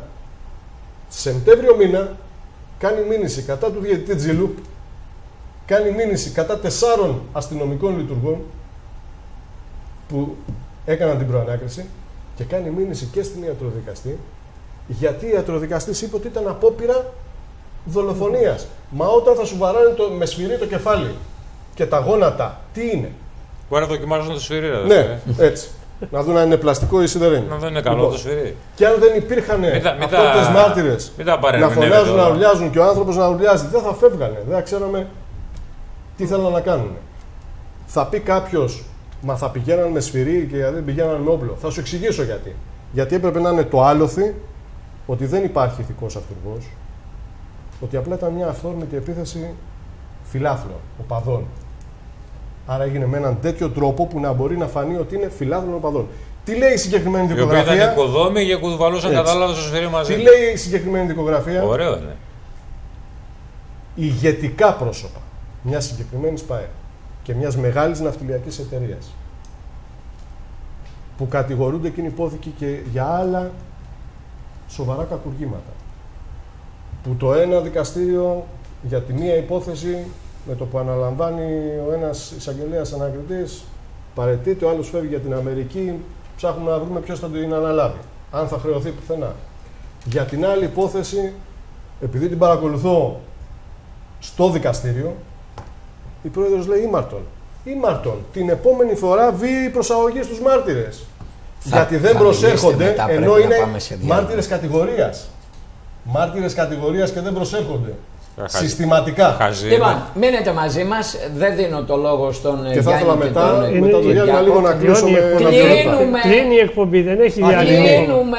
Ωραία, Πω, να βάλω, πω, να βάλω μια πω. τελεία. Να, να, να, να, Να να βάλω μια πούνε τελεία. έτσι και Να να βάλω μια καλύψω. τελεία με ναι, μια ναι. ακόμα είδηση. Πω, πω, Στη πέρασε δικιά, τόσο μου, νωρίς. στη δική μου υπόθεση λοιπόν της αρπαγής, το πόρισμα ολοκληρώθηκε.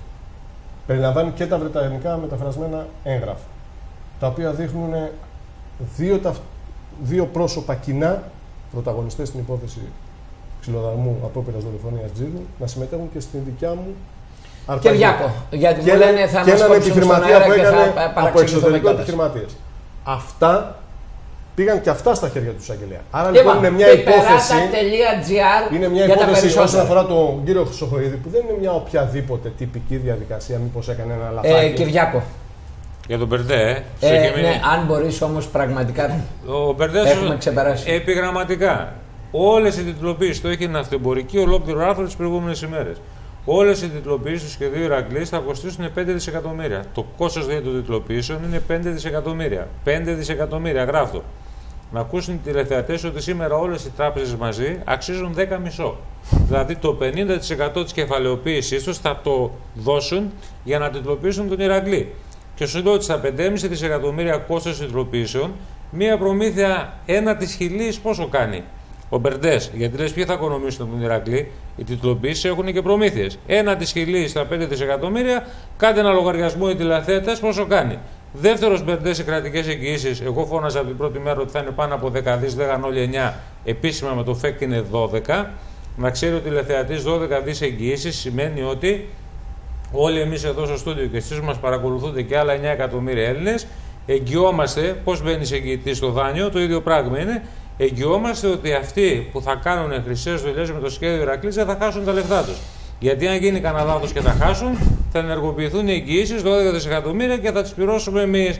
Και επειδή όλες οι εγγυήσεις που έχουν δοθεί για τις τράπεζες στο τέλος εμείς πληρώσαμε, ετοιμαστείτε και αυτές εμείς να τις πληρώσουμε. Και προχτές η Ευρωπαϊκή Κεντρική Τράπεζα βγάζει μια πολύ ωραία ανακοίνωση. Λέει: Ωραία αυτά που κάνατε με τον Ηρακλή, αλλά επειδή δεν φτάνουν, θα χρειαστούν και 9 δις ρευστότητα πέρα από τα 12 δις των εγγύσεων. Άρα ετοιμαστείτε το μαξιλάρι του 37 δις, θα ξεποπουλιαστεί όλο, θα τα φάνε όλα τα λεφτά οι τράπεζες και έχουν τόσο θράσος να μην δίνουν ένα ευρώ για τα εξοπλιστικά και να χαρίζουν τα χρήματα του μαξιλαριού του 37 δι στις τράπεζες για τους Ηρακλείδες και όλα τα όρια που έρχονται. Ε, ο πρόεδρος της Ένωσης Δικαστών και Εισαγγελέων, το κάναμε πρώτο θέμα και μέσα αυτή τη βδομάδα, ο κ. Σεβαστίδης, είπε ότι έχουμε δικαιοσύνη στην Ελλάδα μόνο για πλουσίους. Οι ανίσχυροι δεν έχουν να βρουν το δίκαιο τους πουθενά κλπ. Τα είπε ο κ. Σεβαστίδης, πρόεδρος της Ένωσης Δικαστών και Εισαγγελέων. Οι συνάδελφοί μας εδώ, ο Πάρης ο Κουτζίδη, ο Κυριάκος ο Τόμπρας, αναφέρονται σε πολύ ε, σοβαρές υποθέσεις που αφορούν και ο Πέτρος ο που αφορούν πολύ επώνυμα πρόσωπα, πολύ ισχυρούς. Άρα θα λέγαμε ότι σύμφωνα με τον πρόεδρο της Ένωσης Δικαστών και Εισαγγελέων, όλοι αυτοί, επειδή είναι μεγάλοι ισχυροί, θα ξεφύγουν από τις δεκάρε της δικαιοσύνης.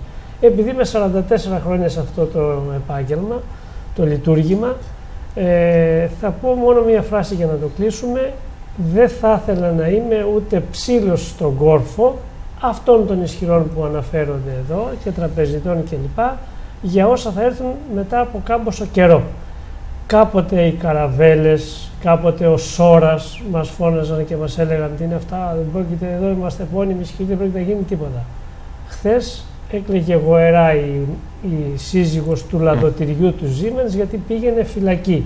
Πήγαινε φυλακή επί Κυριάκου Μητσοτάκη.